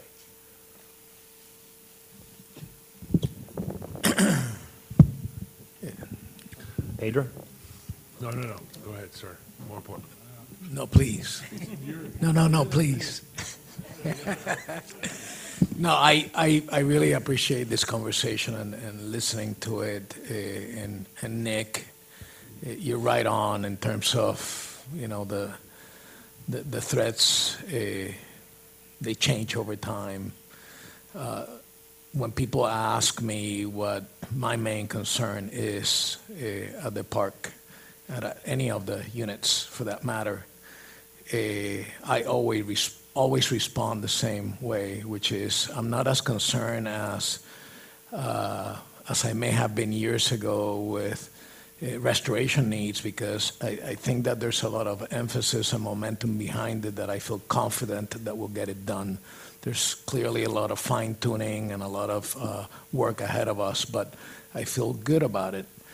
Eh, I don't feel as good, and my response quickly goes to exotics, exotic invasions of plants and animals. And, you know, that's one thing that hasn't really been represented all that well eh, in the work that, that, that we do. We've been really focused on the hydrology eh, piece of uh, the work that, that we have to complete. I remember going to an event, I forget where it was, in Fort Lauderdale, uh, where we released some bugs that are supposed to eat our weeds. And uh, one of my comments was that eh, we need to make sure that we don't end up restoring the Everglades for a whole bunch of weeds and animals that don't belong here to begin with. And I'm afraid that, uh, much like what Bob was saying, uh, if we don't figure out a way, uh, whether it comes from ideas around this table and emphasis from the task force and their support or elsewhere, we're going to be so far behind the ball someday, not only with respect to this invasion of snakes, which is what typically gets most of the attention, but you know we've got something like 55,000 acres worth of uh, uh, pepper uh, in Everglades National Park in a very, very remote area, and it is mind-boggling for us to think about how we're going to really tackle that so that when we restore the system and ultimately bring the water that the park needs, we've got an environment there that can benefit from it and then thrive. Uh, I, don't know how that fits into the conversation. We're just brainstorming, and I'm just putting it out there. Uh, and while I have the mic, I'll also, uh, you know, express my concern that in none of these li- lists, eh, I see uh, the concern of seepage at the eastern part of our boundary addressed. And uh, I know that there is a letter that the delegation here, uh, the two senators and a congressman sent to R.D. James uh, with respect to uh, concerns related to flood control in South Dade in particular. Uh, and I think that uh, a secondary benefit to the concern that our delegation is expressing in that letter, encouraging R.D. James to find a way to use hurricane funding to address that uh, flood control issue in that part of the system. A secondary benefit uh, of it would be making sure that the water stays in the park. All this water that we are trying to move south, 80% of it keeps moving out of the park. And, uh, and we don't have a project to do that. You know, we, we want to drink of the jug but we're not patching the big hole that the jug has in it. We keep filling it up, and we just don't have enough to drink, and we won't until we patch that hole. Uh, So, you know, those two things are things that, that concern me a lot, that I think, eh, whether around this table or at a different table, Uh, I'm looking to address it.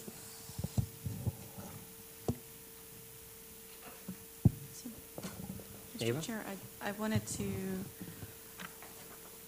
add to what Mr. Ramos was saying about seepage management, because I think that's one of the things that has the most consensus, how needed it is. I wanted to point out that if you look at the second page, there is under CEPP New Water, a portion of that is considered, but not all of it. And so the portion Mr. Ramos is talking about is in addition to what is in this idea. So I just wanted to make sure if you're looking at it and you wonder, where does that reconcile? It's because it's an additional consideration of seepage management that everybody recognizes needs to be done. But there is a seepage barrier within the IDS that was part of CEPP New Water that will be um, under design with South Florida. Just wanted to make sure you guys were tracking that. Thank you. One thing I'd like to point out as we're wrapping this part of the, part of the workshop up is the document is extremely informative and it has a lot of information in it. And if you've ever spent the time to walk through it and explain it to somebody, which I'm sure many people around the room have to their board members, councilmen, elected officials, um, it, it takes some time. And, and, and it's fairly complicated at that, but it shows we have a well-thought-out, well-planned roadmap to get to a solution to get those conservation and ecological benefits. In, in looking at a scenario, alternate scenarios with less funding, I think personally simplified might be more useful for communicating to that audience. Whereas we've got this high level of funding, we have this really great roadmap for it, and if the funding was at that worst-case scenario that Ed pointed out on the average of the last five years, what would it look like? Um, And I'm not sure what that matrix is, whether it was a percent of completion, whether it's all of the projects dialing back on some level of assumptions that were made, but some way that simplifies that to communicate that if it's not done, this is where we land. Um, I think that's a big ask, but that, that would be useful, definitely. Hmm. John, and then Rebecca? Oh, the- Rebecca, ladies first? Um, Rebecca Elliott, Florida Department of Agriculture and Consumer Services. And, and I agree that it- as a tool to be able to show what happens if funding is decreased, it needs to be simplified to the point where you're not trying to explain, you know, why this is here now, and why that's there now, you know, based on reduced funding. So, you know, I would support that idea for communication. Um, But as we're saying, things change. And I think if the funding really were to be reduced, we would be sitting around this table talking about what the priorities are for the funding that's actually available. Um, The IDS is a roadmap, but it's not set in stone. It's a work in progress. And one of the things that does come to mind for me is this, you know, S333 North and how soon it's going to be finished compared to S356. There's a six-year gap in there. And, and it's unfortunate because, you know, you want to get the full benefits of the projects that you do and what their potential is to actually deliver the water. And that will be limited, that, you know, the, the potential for the new S333 North. Um, Again, it's just going to be limited until you get S356 online. So I think if you are making, if you're going to have to reprioritize, that's the kind of thing that you would want to be looking at is, you know, really what sequence makes the most sense to get the most benefits where they're needed. And, you know, again, I really support a simplified approach for an alternative at this time, but I also think, you know, everyone just needs to keep their eye on, you know, what happens in the future and what the best plans will be going forward with what we really have to work with. John? John Mayo, Martin County. Thank you, Jim. I want to um, build on the oversimplification argument a little bit. Now, being from Martin County, I know I'm supposed to just say IRL South, and, and that's the most important project. We need to do that tomorrow, and, and I, I'll stand by that. But, I- but I do want to say that if, if the context of the conversation we're having is about how we message the importance of the federal funding to, to this effort, um, I- Sometimes, so, so these are wonderful, and we love them. Whenever we get an update, we laminate these, and everybody in the office wants a copy. We carry them around DC with us. But what it, what it kind of has the effect of is focusing on the individual projects. It almost actually looks like a rat race, only the losers are out front, and the the winners are, are in, are are trailing behind geographically. Um, and so when we go and we advocate for federal spending on these, we tend to focus on the projects that our constituents are concerned with, and, and our delegates tend to pick up that focus. And at some point, um, all that has to coalesce into one number, right? So I remember this exercise from my days in state parks where we had um, all of the uh, state park managers from 176 state parks in one room, and our friends groups that support those groups. They're deeply committed to their parks, they're deeply committed to um, to those specific areas. And we were talking about how we effectively advocate for funding of operation of state parks and capital improvements.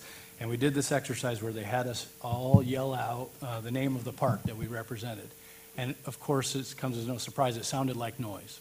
You, you know, you couldn't make out any one thing. And then they had us all yell out Florida State Parks, and it came across as a very clear and resounding message that someone could grab hold of.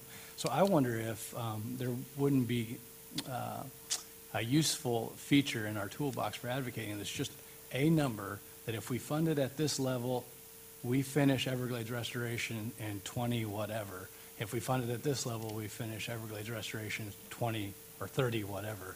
Um, Just to make it ultra simple, something we can all coalesce mm-hmm. around, and, and we don't necessarily always get into the weeds about who wins and loses uh, when allocating dollars. Mm-hmm. Ava? So I wonder whether some of that might be helpful in, in the 6 billion in 10 years or, you know, that, that high, whether you're, whether that would be helpful, because it doesn't say, the IDS doesn't say 6 billion for the next 10 years, but those are the types of sound bites that are helpful, right? Uh, If we get 6 billion in 10 years, this is what this means. If we get 3, this is what this means. And I wonder whether that's, was that where you were going? Or maybe even finer than that? I mean, I think that's in the direction of what I'm thinking, but I'd like to be able to say if we're funding it at our 67 million a year from the federal government, that it's going to take till 2075 to finish Everglades restoration. But if you made it 200, I'd like to be able to say it's 2045, wh- whatever those numbers are. Yeah, it's kind of finish it in your lifetime or finish it in somebody else's lifetime, right? So- So if this is a roadmap, right, a roadmap is supposed to take you to a destination. My kids aren't asking me, when are we going to be at, at the next gas station? They're asking me, when are we going to be at the destination? And, and that's the number I'd love to be able to report. Yep. Adam? Few words to bring us in for a close? Well, first, I don't want to cut it off um, at any one time at an appropriate location, as ideas may evolve. You know, we may come back at this and want, but, you know, when I didn't want to put any bookends on this, what we're asking the court to do is a lift here, right? There, there is, you know, a, a, time and a resource investment of their labor that takes away from something else. So I didn't want to put that out there as a framing component when we go into this. But it, when we go down this road, um, they've, you saw the work that Howie presented on. You saw the work that Megan presented on. That takes people behind that. And, and although, obviously, if we don't get the funding, we don't get the projects, how do we message the funding? How do we effort the time? And how do we, you know, it's, it's that contextual, continual, uh, you know, dueling battle that we, that we have and balancing act. And, you know, from what, you know, maybe I misheard, right? I- Um, James, I'd like you to send me the link for NOAA if you know and have it accessible. You know, because one of the comments from um, Secretary Valenstein was, you know, he wants this updated every year. You know, is, is that really possible? You know, and, and, and he's just letting ideas flow, right? So how do we be, we be responsive to that request? It's not, no, we can't do that, or no, or, and, and not finish it off. Is there maybe something long-term? I find that some of those things, and I get it, that it's, it's great to have a hard copy. You can, you can tug on it, you can look at it, you can scroll across, you can get your piece of paper. Sometimes I might lose it on my screen. I only, you know, I only have one screen on my computer and not two, and, um, so, you know, I'd like to try to get to some kind of resolution here to provide the Corps with some considering, you know, options about how to frame this up. Um, So, as to give them some guidance to, to go forward, it seems like we're all in agreement that we need to understand what that other bookend is. This, this is one bookend. Would that be correct, Ava? Baseline, yes. Yes, this is, this is one of the other bookends, and do we need to look at that other bookend and go with a five-year average as opposed to pulling a single number out of our hat? Right, and, and um, I don't know if the secret sauce, given up the secret sauce makes actual sense, Chris, um, you know, because that sauce may change over time as we add in climate change and how somebody may misinterpret somebody's subjective change. In general, I think we all agree with this um, and, and um, moving forward. And not to belabor to where we need to get to close this out, but, uh, you know, Rebecca, I think that maybe your item of what you're talking about is for item number 10 on the agenda, right? Those challenges that we face, right? And, and, and going back to the comments here, you know, the IDS sequencing may be for uh, the, the, the number 10. So I don't want to brush over, I'm trying to touch on everybody's points here, can we, can we come to some kind of an idea here about what that other bookend can be? Can it be a bookend with possibly a- an evaluation of doing something that Mr. Evans, as a long-term maybe goal, that's not necessarily in the near term, to have something that's maybe addresses uh, Secretary's other comments? I don't know, I'll throw that out there and stop. Thank you. Uh, Just a moment, James. I, I, what John was saying about a single number is very useful, and what what you were saying about a, a tool, also very useful, but we do run the risk of having a, a tool with everybody using different numbers and different communication going out, which is a problem in itself. James? Yeah, and I just wanted to kind of go back to what Ed said. Um, I agree with what Ed and Chad said. I think it is, is nice to have, you know, a piece of paper that shows you, you know, what's going on, and we can use that from year to year. The challenge you have is if you're doing a new one every year, you're going to have projects that slip, and, and that, you know, that goes unnoticed. You're going to see projects slip, and, you know, you get your new IDS schedule this year, and you see the C-43 reservoir slip two years on the schedule, but then we move on. And so I think this idea of having like three scenarios, maybe a 2065 option, a 2045 option, and this 2030 option, you can still use those numbers. It gives you the hard copy that you can look at, and you can show the policymakers or your constituents or whatever it might be, what happens in these different scenarios, and you still have that hard copy. and So it's not, it's not changing. But you can see when you compare those different schedules, how those projects might slip from the 2030, 2045, or 2065 scenarios. So just something to think about. But I was just recommending the tool, the online tool, as a way for people to kind of visualize those changes. But if we can do it with three different placemats, um, I think that might work. Ed? Just real quickly, just to, that we, I think that's a great idea, but I think we need to be very careful about, because I know the Corps and the district, they already sort of tried this exercise, doing it, following it exactly with the projects and the timelines and everything. It became extremely cumbersome, and it, it just didn't work out. It, it, it's, it's very challenging. Building this itself is a very long project, so if we're building three of them or two of them, it's, it's a very, the staff that build this are the same staff that are doing the projects. So we don't want to pull too much time away. That's why I was coming up with a, like John was saying, high level. Just keep it high level. And you can show slippage. You may not be able to get to the fine grain of, oh, C43 just went out a year, or C43, you know, you can get it back a year or whatever.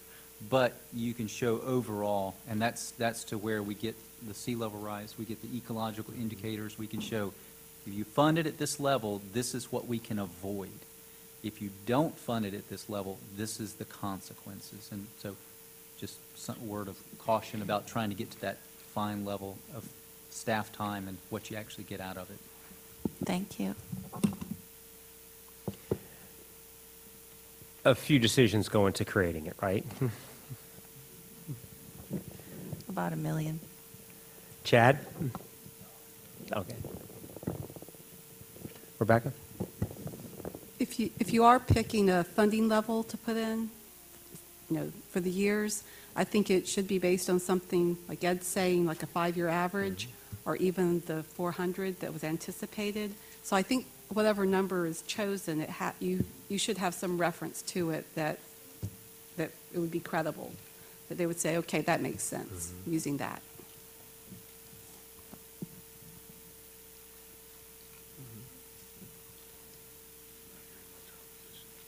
No?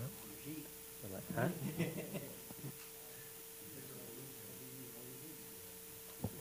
Yeah, you got to start sketching some, you put one of those little hash marks in there that shows a break on the x-axis.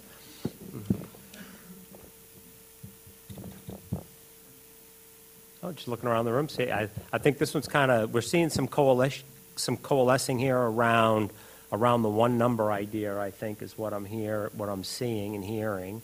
Um, and how that's applied to the, how that's applied to the, to the actual IDS here, think there's a decision process in that. And I'd invite the, either the Corps or anyone else at the table to comment on that, um, or reserve those comments as it's thought about a little bit.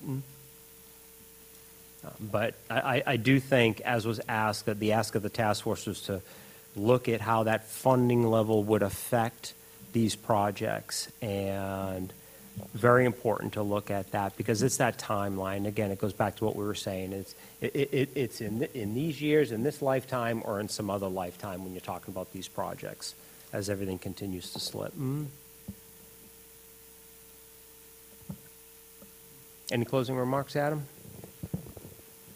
on this one? I think we'll bring this one in for a landing, and uh, we, does, let's ask the court, uh, Eva, do you think you have enough information right now from this discussion? Or perhaps we can count on our folks in the OERI staff to distill this a little bit and help us with the next steps and distill these comments down into some more uh, beneficial or useful information for you to work off of? So I like that she has seven pages of discussion. Mhm. Um, That's very helpful. I, I think we will need both South Florida, because it, it isn't just us. Uh, There's a very significant uh, effort with South Florida as well as DOI, um, because there's a lot of different projects in here that the, the definition of that task force requested scenario is, is what would be really helpful to us so that we can meet the need.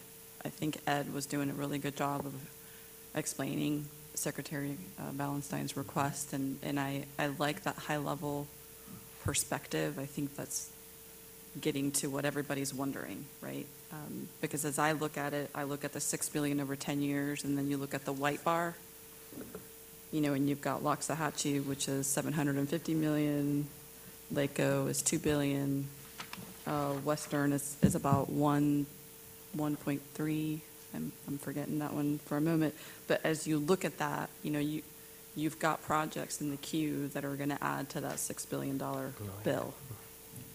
Um, And that 6 billion, by the way, isn't including the blue part on the top. So as we look at what scenarios, or what scenario, it would be helpful for that to be defined. You know, the high level, I think, would be the most helpful.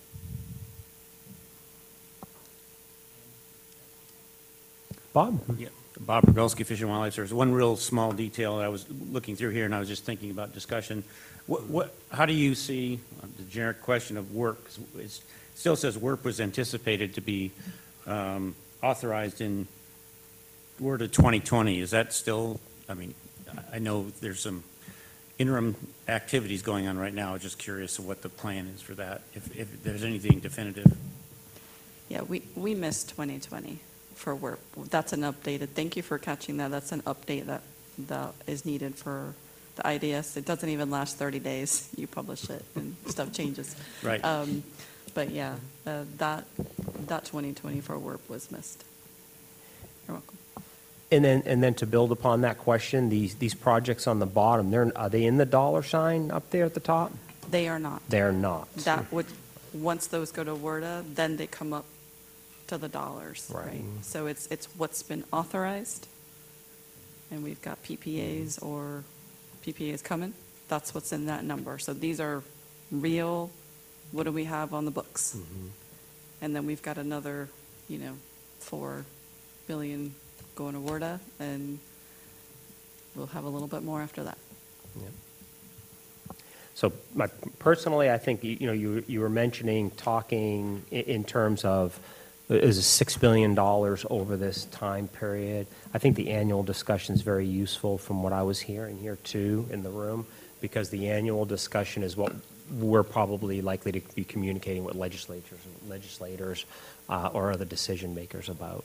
Um, That over multiple year cycle is very important, but I will tend to talk to somebody about, you know, the fund, right now, it's about funding for $200 million per year at the federal level for Everglades restoration. It's not $6 billion over a number of years.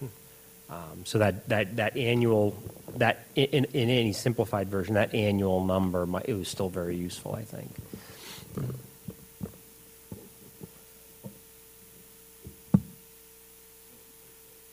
Sorry, so do you have enough to provide some, guy, provide back to us or provide back to the working group that number, five-year or 400 million dollars? Is that something that you guys can move on from? We can move on from this agenda item?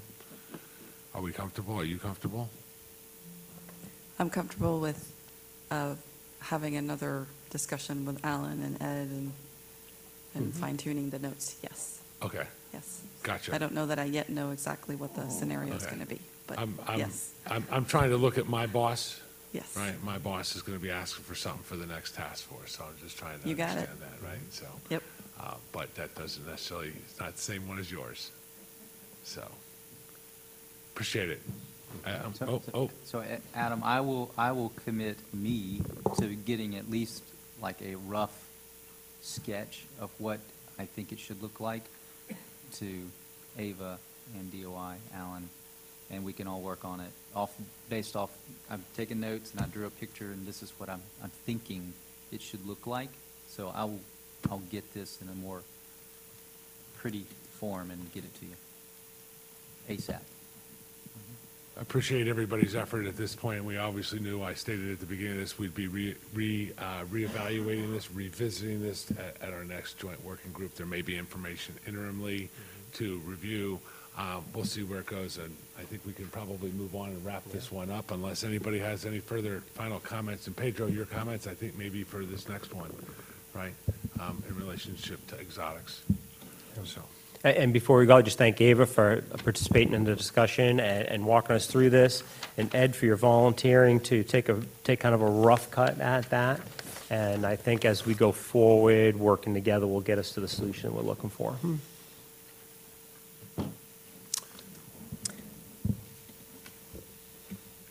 Item 10. Item 10. I find item 10 now.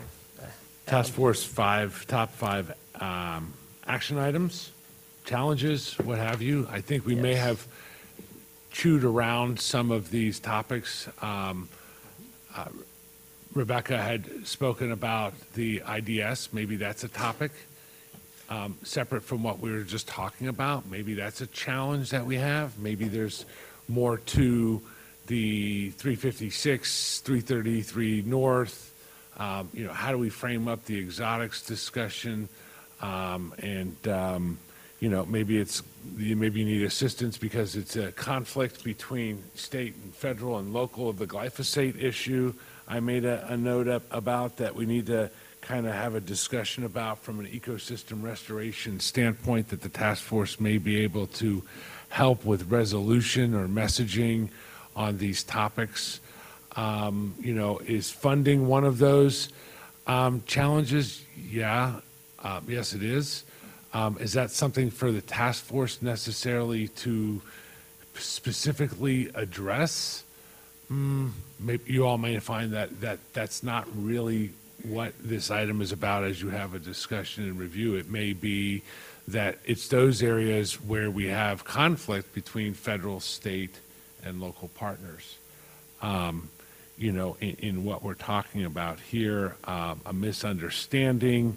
Um, this is really when, um, you know, I've got uh, dash Megan Jacoby 12 4 19, troublemakers uh, shall arise.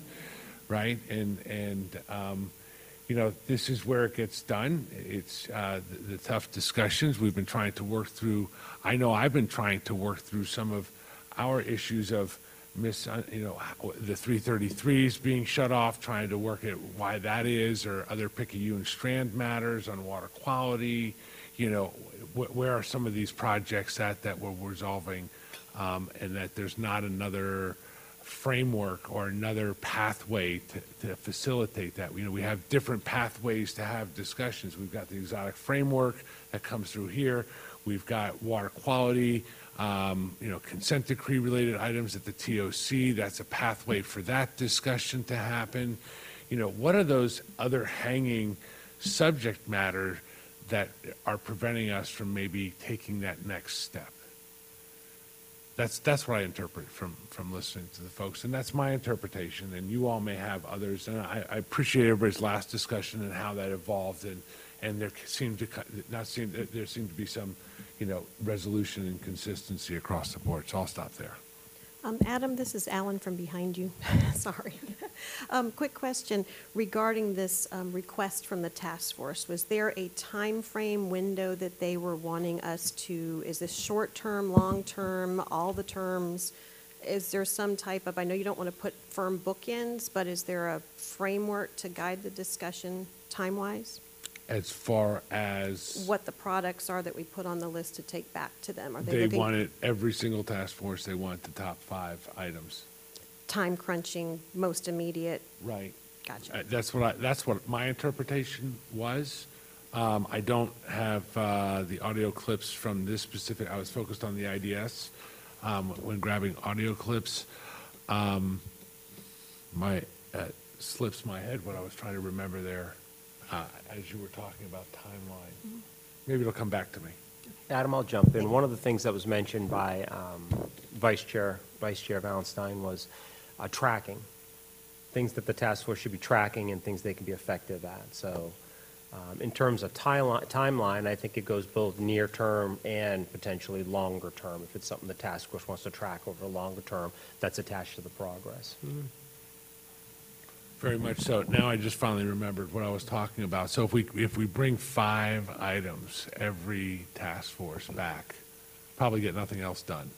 Because each one of these items may have a presentation that will need to be made by one of you or somebody on your team to bring the task force up to speed so they can have a meaningful discussion.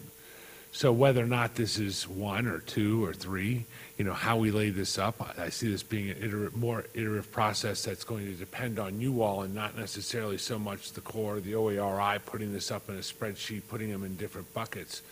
But we have to also manage that time that we have with the task force. I don't see us going to three or four or five task force meetings a year just for the sake of, of this topic.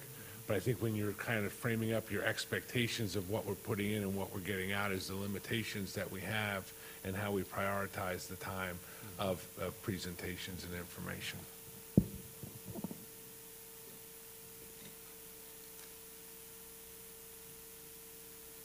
With that, let's go to the group, and I think we're working here. Ultimately, we may have more than five items on this list, but we will work with, uh, with the staff at OERI to distill it down and try to get to five. So let's hear from both science coordination team members and, of course, working group members here. Start with Dave. I'll- take the easiest, low- low-hanging uh, suggestion, which- which Pedro already described, which is, uh, and and Mike Collins' comment too, it's basically the uh, seepage management issue. Since it's not completely ca- uh, captured within our existing projects, and even the 356 uh, expanded capacity is uh, delayed perhaps, as as Mike suggested. Um, It, you know, what do we, what do we do about that? I don't know. I don't know how we incorporate that into, uh, fold it into CEPP South or a standalone project, uh, perhaps some state, state initiative for part and some federal initiative for part. But uh, COP itself um, will be, uh, its uh, effectiveness will be impeded still by um, the existing uh, seepage management uh, deficiencies. It's been a a constraint within, a clear constraint in our development of COP, uh, trying to protect particularly South Dade Ag while improving uh, Taylor Slough area in Florida Bay. So, um, you know, this, this always comes up, half square mile area is, is, is always a problem. So it's, it's the entire eastern boundary though, not um, a single structure like 356. Uh, 356 alone won't do it. So that, I think that's probably the easiest one to characterize as a, s- something we keep, keep noting. So may, we, some more action would be helpful. And as we go along, if I haven't captured your idea here, please let me know if you need more, more language down. Be glad to do that. Accelerated too for 356. At least. At least a consideration of accelerating the 356 expansion. I, I don't, I don't know enough about th- that particular local effect uh, in combination with the uh, CEPP South 333N. Uh, You know, note, uh, even in comp, uh, you know, with the Tamiami Trail next steps, uh, and the, um, um, ba- basically, we'll be able to raise stages in, in L29, but, um, for, with the road being safe. But will we be able to actually do that uh, and still be protective of uh, the communities to the east of the park? And the answer is probably no, unless we have uh, better seepage management. We, we won't be able to realize the, the full, our full potential, full potential benefits. Rebecca? Uh, I'm just going to support what Dave said because, you know, what he said, because seepage management, we are, because we both want the water to be where the water really should be and where it serves the best purpose. And having it seep east is really not good for the park. It's not good for the communities east of the park. So, you know, if you're not talking structures, you may not realize S356 is a pump that returns seepage from the L31 North into the L29 so it can go back to the park. And that the existing 356 are doing a pretty good job of what they have to deal with now. But if you're going to bring a whole lot more water into the park, you have to have better seepage control or seepage management or seepage barriers in some place. So absolutely, I think seepage management and how to expedite that and accelerate it so that it is there when the water really can be conveyed. Mm-hmm. And so you don't get this gap between projects that want to convey water and give you new water and a system that isn't able to take it.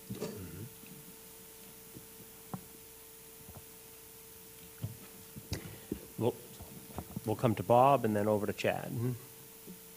Well, let me just, on, on this issue, I just want to expand it a little bit. If you- If you look at the Central Everglades project, which primarily was focused on sending more water south, and we talk about all the different lines we looked at, the red line for inflows and the blue line for Tamiami Trail, the yellow line for seepage management went north all the way up to the Miami Canal, because the transmissivity of the aquifer, you know, increases exponentially when you go south of the Miami Canal. So make sure you consider when you're talking about seepage management, we're doing projects to put more water into Water Conservation Area 3B now.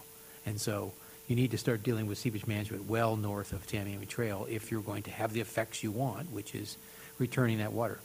Uh, CERP, not CEPP, had multiple components related to seepage management in 3A, 3B that are not on the IDS now. So I would just say, make sure you talk about seepage management over the area where there's an impact, which is larger than just the trail south. We're only talking the trail south because we're putting water in below the trail now, but we're not thinking about what we're doing along the boundary between 3A and 3B, which also has to be managed differently. We'll go to Chad. Hi, uh, Chad Kennedy, DEP. And I guess, Bob, this is kind of a question for you, because, you know, we're both kind of in the regulatory world, but in T and E species, um, my perception is right now, I've seen some projects that kind of, um, and I won't say to be delayed, but it takes, um, each one's being more, um, the monitoring for each project seems to be doing, being done in an ad hoc kind of a manner by that specific project. And we know a lot of these T and E species travel throughout the region, not just the 16 counties, but at least the 16 counties. And I, I know at one time there was some discussion about having a um, kind of a comprehensive T and E species monitoring. So it would be kind of like a line item. Every year we're going to do the following monitoring, and that would give U.S. Fish and Wildlife and, of course, FWC and everybody some assurances that we're, we're tracking these T&E species throughout the restoration area, not just at, over in Picayune Strand, but adjacent to it, we might not be monitoring. That, to me, seemed like the development of that was happening at one time with the Water Management District, and I think they may have even sent a draft to U.S. Fish and Wildlife about a more comprehensive T&E species monitoring plan, instead of having to do it, each specific project, kind of more in ad hoc fashion. And I wondered, I'm, I'm asking, do you think that would benefit your agency in being more comfortable with these projects moving forward? And I, I do know at, Kissimmee River Restoration, there's been a few contracts where the actually contractors were literally on-site staged, and they had to wait for specific, um, climate conditions to do, um, bat surveys and things of that nature, where if we had more of a long-term monitoring, we'd already know if they're present or not. We wouldn't have to ha- have these contractors sitting at idle, waiting for that data to come in. And it's important data, don't get me wrong. I'm, I'm trying to do a more comprehensive look at our T&E species within the restoration area. And I, I'm actually kind of asking, uh, your opinion as far as, do you think that'd be helpful, or? Sure, welcome. So a couple things, Chad. This is Bob Progulske, U.S. Fish and Wildlife Service. In, in short, the answer is uh, some type of comprehensive monitoring program would be, would be helpful. It You're talking about over 70 listed species, so it's very, it would be very complex, let's put it that way. Uh, Part of our regulatory responsibility are we, we're supposed to be able to definitively say Project X will have this effect on species Y. So in, a- in a broad sense, it would be difficult, but we did, we, we're still exploring, as an example, a, some type of, um, I'll kind of, I'm going to call it a conservation strategy for snail kites. As, that's what, that's the one we're working on right now. Still in the infant stages of how we, how we would accomplish that. That could be tech, uh, potentially a, uh, you know, model for the other species, but that's one that we think maybe we can look at it range-wide and not have kites as an, as a, I'll say, as an issue with any of the particular projects. But there would have to be a lot of upfront um, contribution in terms of monitoring uh, on an annual basis, because if, let's say, for argument's sake, all of a sudden kites get a disease, and you had a huge population drop, whatever conservation strategy we had would have to be flexible enough to acco- to accommodate that, so we might have to really change our direction on how we evaluate the the effects of, of projects as that, if that happens. So in short, the answer would be yes, we- we're looking at more of a, what we call range-wide or recovery strategy for some of these species, but it it is complicated because each species is a little bit different in terms of how, how it's evaluated, and we have a huge wealth of listed species in this area.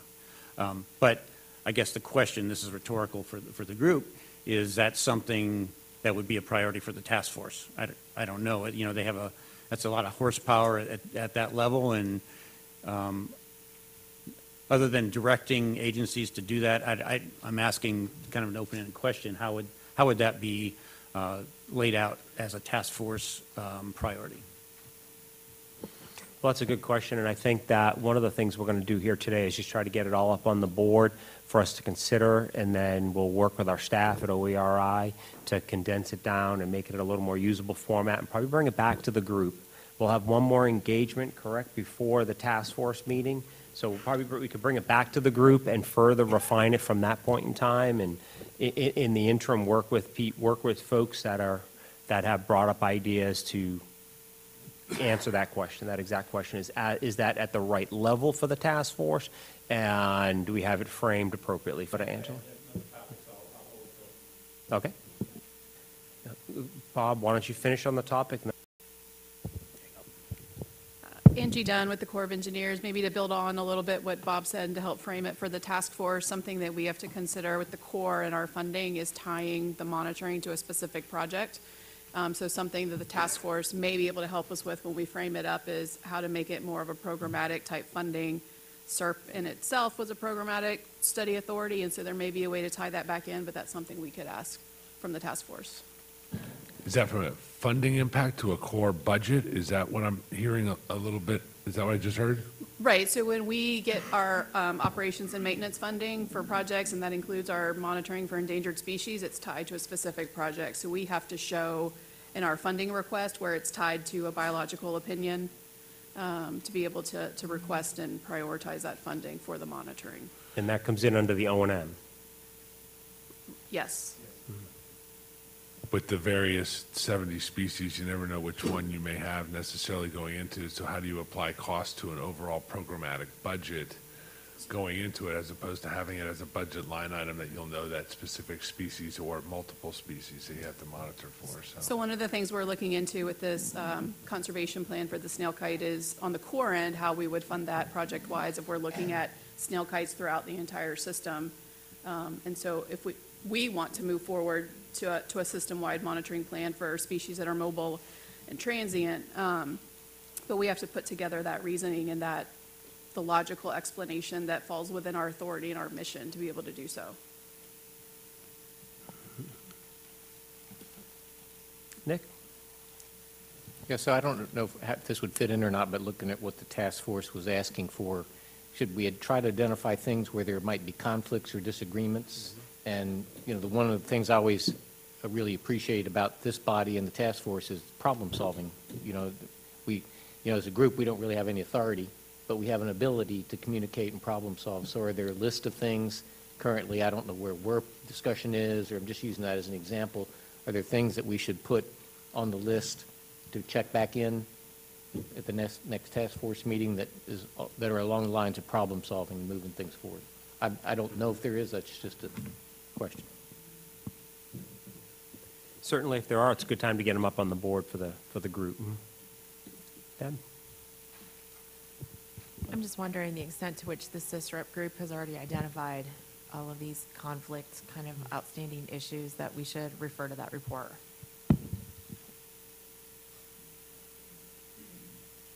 Yeah, it's, it's a good comment. Bob, do you have any We'll Look to insights Bob on to that? comment on that. Mr. CISRERP? Any mm-hmm. thoughts? Well, I think if you look at their last report, they identify a lot of the, I'll call it constraints that they see related to moving forward, but they identify them at a big level like storage. You know, we got a fraction of the storage in plans or construction today versus what we had at the beginning of CERP. And what are the consequences of that? So they do it that way. You know, you've got a proposed project, you're going to move forward, you don't have everything you said you start with, so what's the consequence of that decision? So they approach it that way, you know, like I said, something's changed in your plan, in your design. How are you going to evaluate the effect? So they keep asking us those kind of questions. There may be also some issues of time lag until those items come out in a report.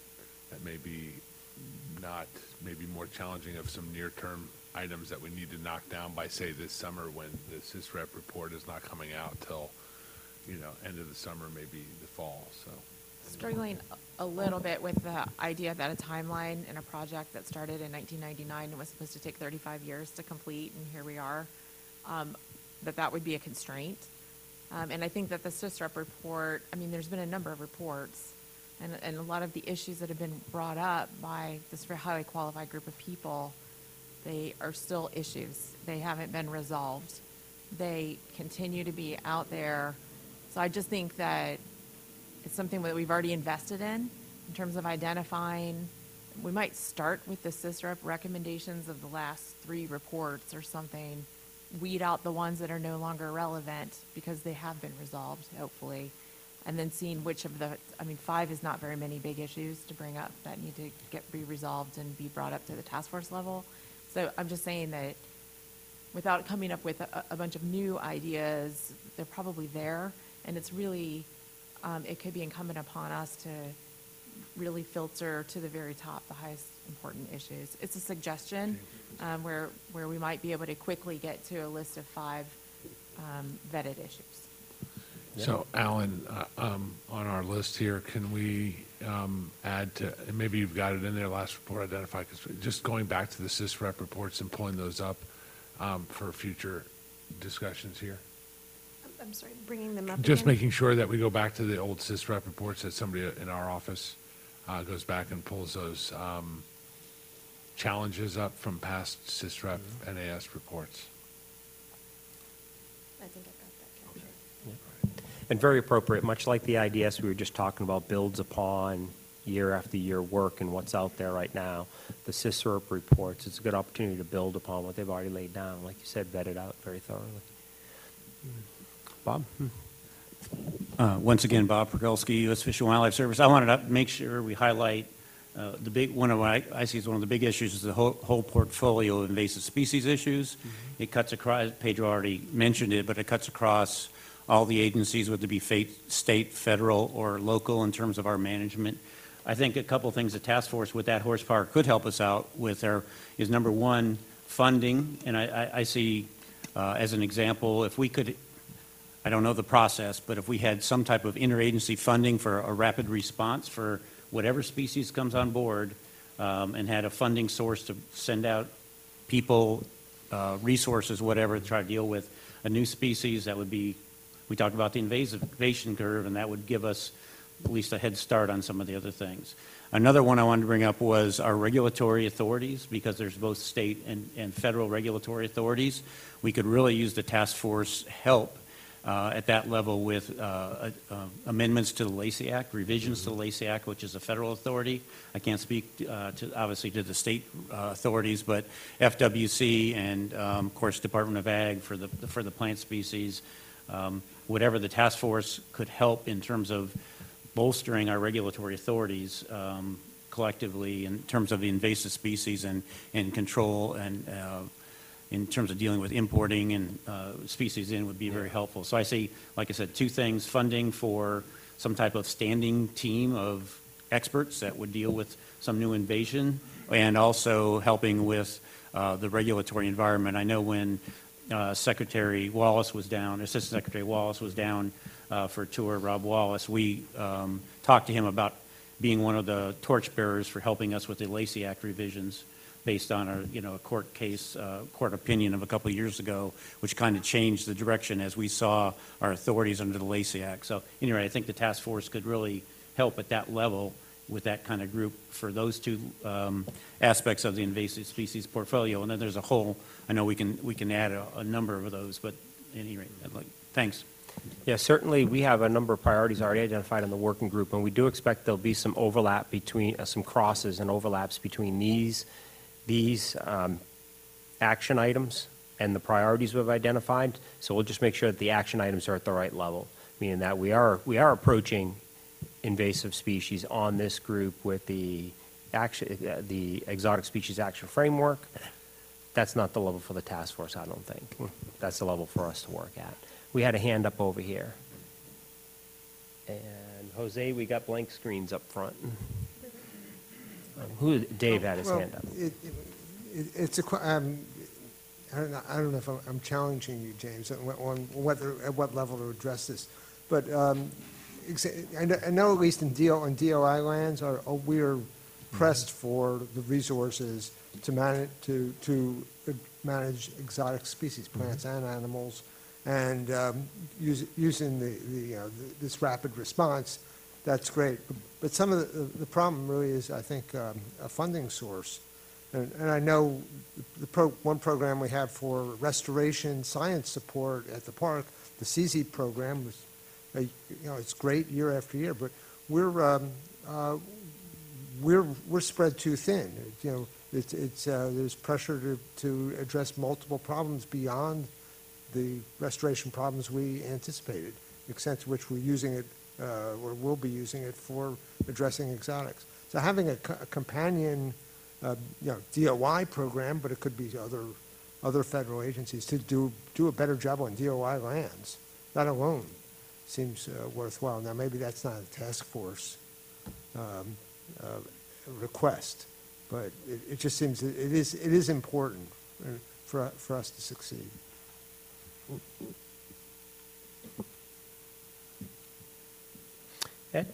So kind of building off what Dave was saying, I, I I was thinking something, and it may not rise to the level of this, but I was thinking if we could, thinking about the membership of the task force, the different organizations they represent, would it be something we would want to bring to their priority of, of seeking opportunities for engagement with other groups, other agencies, local governments?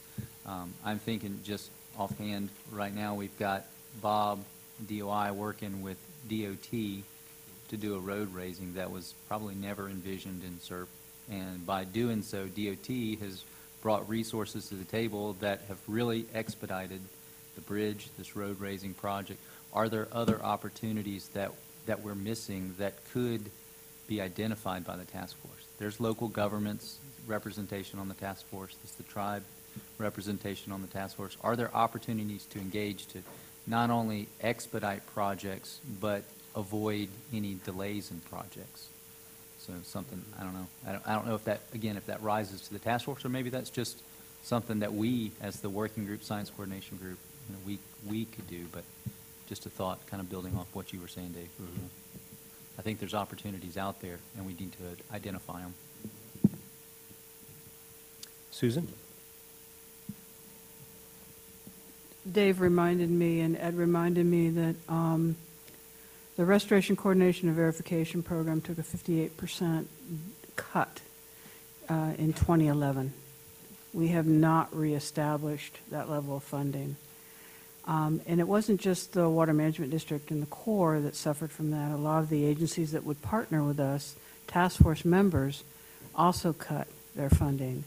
And I think that in order to effectively illustrate the benefits and the values of what we're trying to do, we need to ask the task force to take a look at what other resources they could bring in to help rees- reestablish, restore that program. Um, If anything, we have more, while we have probably the same geographic extent, we have more projects in the ground, and the projects are good focusing on the projects, but even they've been limited.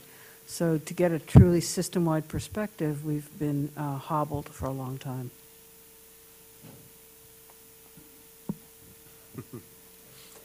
You, if you, want- you want to tie things together? Dave, your uh, hand went up real quick. Okay, yeah. uh, um, You know, t- tying COP to CEPP, uh, tying CISRERP recommendations to where we are now and, and, and how we, how we follow the best track.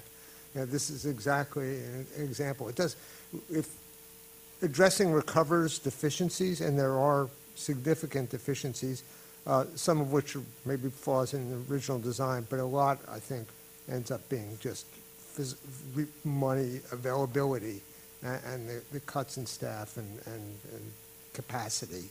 Um, This, this is what we need. CISRERP has hounded us, report after report, for being too reductionist geographically, topically. Uh, We're not integrative. We're supposed to be system-wide integrative in nature, uh, addressing the, the system, ecosystems problems.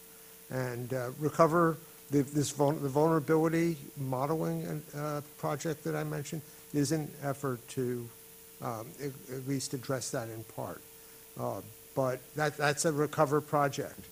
Um, It's, um, you know, the time estimate I got from one of the CISRERP members was, you're kidding about two or three years doing this, right? You know, this is more like at the level, at the rate you're going, it'll be 10 years. Um, It's like, you know, that might be right. Um, Do we need it now? Yeah, we do, uh, or something similar. So I think, um, Su- Susan, in- in your, your last meeting, I don't know that anything would be more appropriate to, to uh, introduce as a, as a proposal than, than trying to um, make Recover whole and effective. Thank you. Dave, you brought up linkages and tying things together, and we've heard that same theme a couple of times, not only going around the table with the 344 and the 356, those two control structures. We heard it with Combined Operations Plan and Central Everglades Project. We heard it with the EAA and the flow capacities.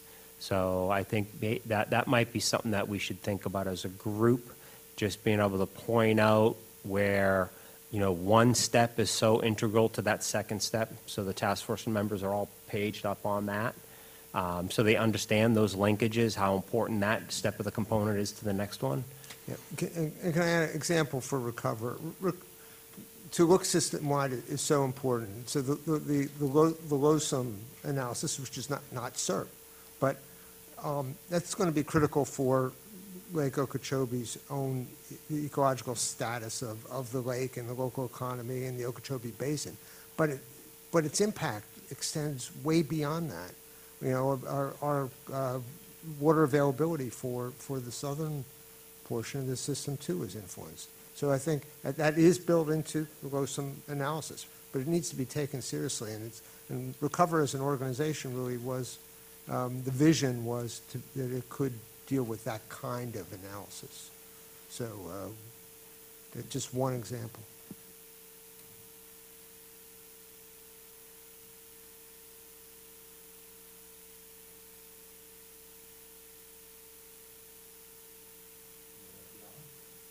I'm going to let the awkward silence sit for a minute while people are thinking. So I think we've captured a lot up there. Maybe not as many pages on the IDS, but we have certainly more than five things to think about, I think. Uh, Thank you very much, Alan. Um, And one, one thing that will be remiss is that as we distill these and bring them back to the group, we have to be cognizant and consider what we already have venues and pathways to bring things to the task force, such as project updates and construction updates and timelines are all very important for the task force to be tracking, and they are tracking them. The Corps and the district provide comprehensive updates on those things right now. So that's certainly something that the task force is tracking and needs to track, and they're getting it through their updates. So we're gonna, as we work these out and distill this down, we're gonna have to consider how those other projects fit in, like you said earlier, Adam, and how these new ones come in, because if we come in with five independent presentations, that's gonna fill the entire agenda for the meeting. Mm-hmm. Chris?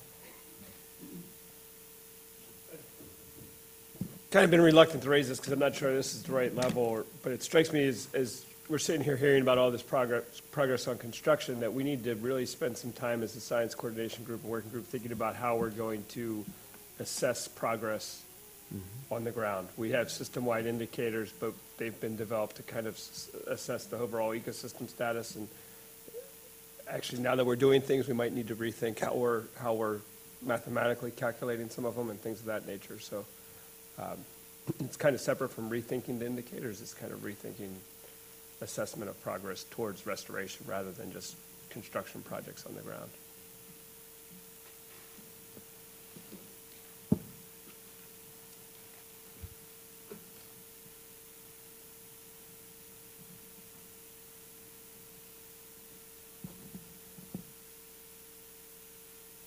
All right, I think we can close this discussion on uh, the progress on the ground for projects and considering that.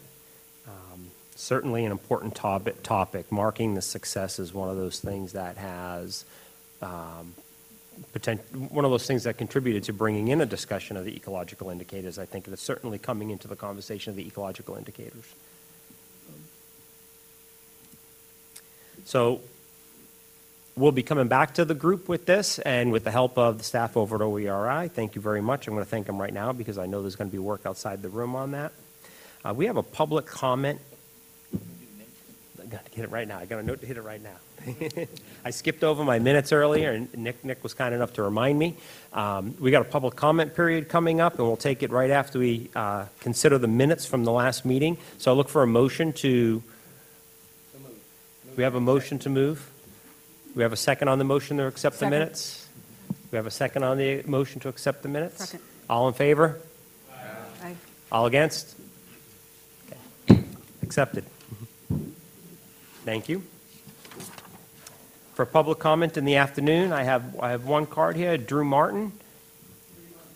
Do I see it? Drew, why don't you, the podium is on for you?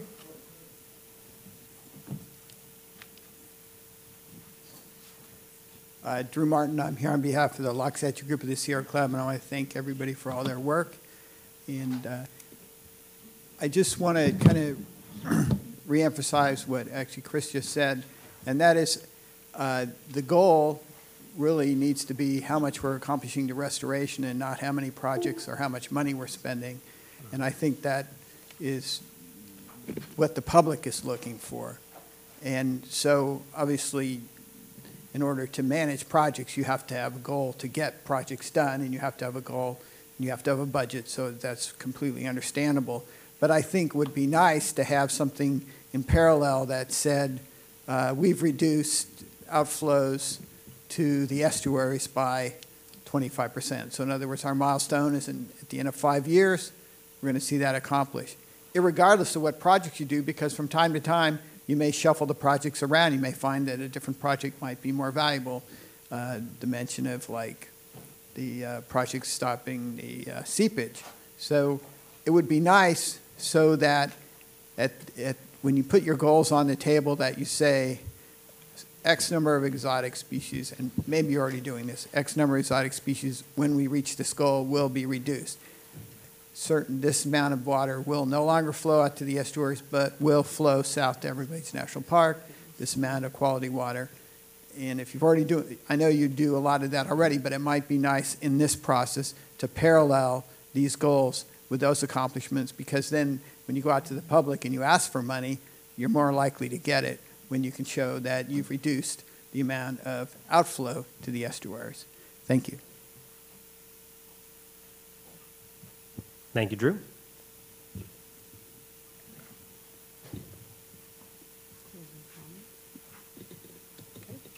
So, Adam, would you like to take us into the next steps or some closing remarks today? And I'll turn to all my co-chairs for that.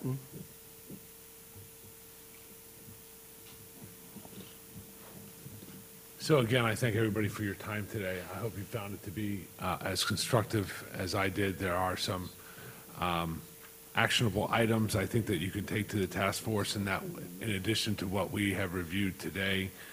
Um, We'll get another blush, another swipe at this coming up. There could be new additions, new topics that you think of.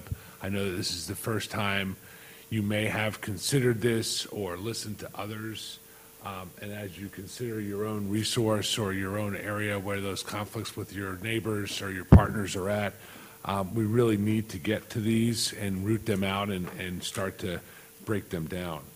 Um, So I appreciate the Corps' opportunity to work with the IDS and their support of this and the district um, for providing the room here today again as the uh, auditorium for all things ecosystem restoration for at least my office. Um, Without this kind of a facility, we tried to stuff 40 people into my office and it almost didn't work. Um, So uh, we, we, you know, further, further provides the, the, the support. And thank you, Jennifer and Drew and, and others here at the district um, and the taxpayers for supporting this. Um, The, uh, the next meeting that we have on our docket at this particular time is February 25th. The one after that is June 23rd that we have, um, that's scheduled for here at the, uh, the Water Management District. Um, Again, to repeat it, the next task force meeting is being looked at for, um, I'm waiting to hear back from the chair and the vice chair, again, August 21st, 20, uh, April 21st, 22nd, or the first week of May, um, to, to reiterate that. Um, I don't really have much in the way, thanking OERI staff that are here today. Um, They're working behind the scenes at all times, uh, providing this, making adjustments, changing, uh, setting up the venue, reporting on all of uh, the reports that Kevin spoke about. Um, It is a a lot of work that keeps them constantly busy. Um, We hope to be in the next couple of months, we're revamping the uh, OERI website to make it more user-friendly, make it more current and new, uh, working on those components. Um, And um, so I appreciate everybody. Uh, Kevin, do you have anything to add? No? Okay. All right. James, that's basically uh, the housekeeping that I had uh, on notes from this uh, meeting. Thank you, Adam. And, I too would send a thank you to the, to OERI for their support in between meetings. There's a lot of conversation between meetings, and all of our team members here are, very open and discussive on the topic. So thank you very much. Let's keep that up as we go on. And uh, thanks to the state and federal partners for what they're going to look at on the IDS. It's no small feat to try to make a distilled version of the IDS. Um, And on that, in terms of announcements, I will announce that we have a, I will announce that uh, the FWC has a commission meeting happening December 10th and, December 11th and 12th in Pensacola, Florida. Um, The full agenda for that is online, is on the, on our website if anyone is interested. I'll turn to our chairs for some remarks before we close the meeting? Okay, Susan? I just wanted to thank everybody again for the nice comments, and to, um, although Nick was hoping that I was going to announce that drinks were on me, that's not what I was going to add right now. Um, But that, uh, for those that have my cell phone number, the number's staying the same, and if you would like it, I'd be happy to give it to you and stay in touch. Thank you.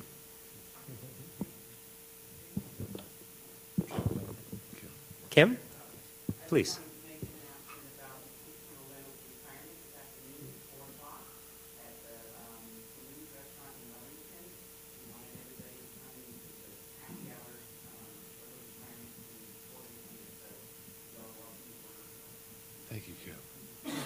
Thank you, Kim.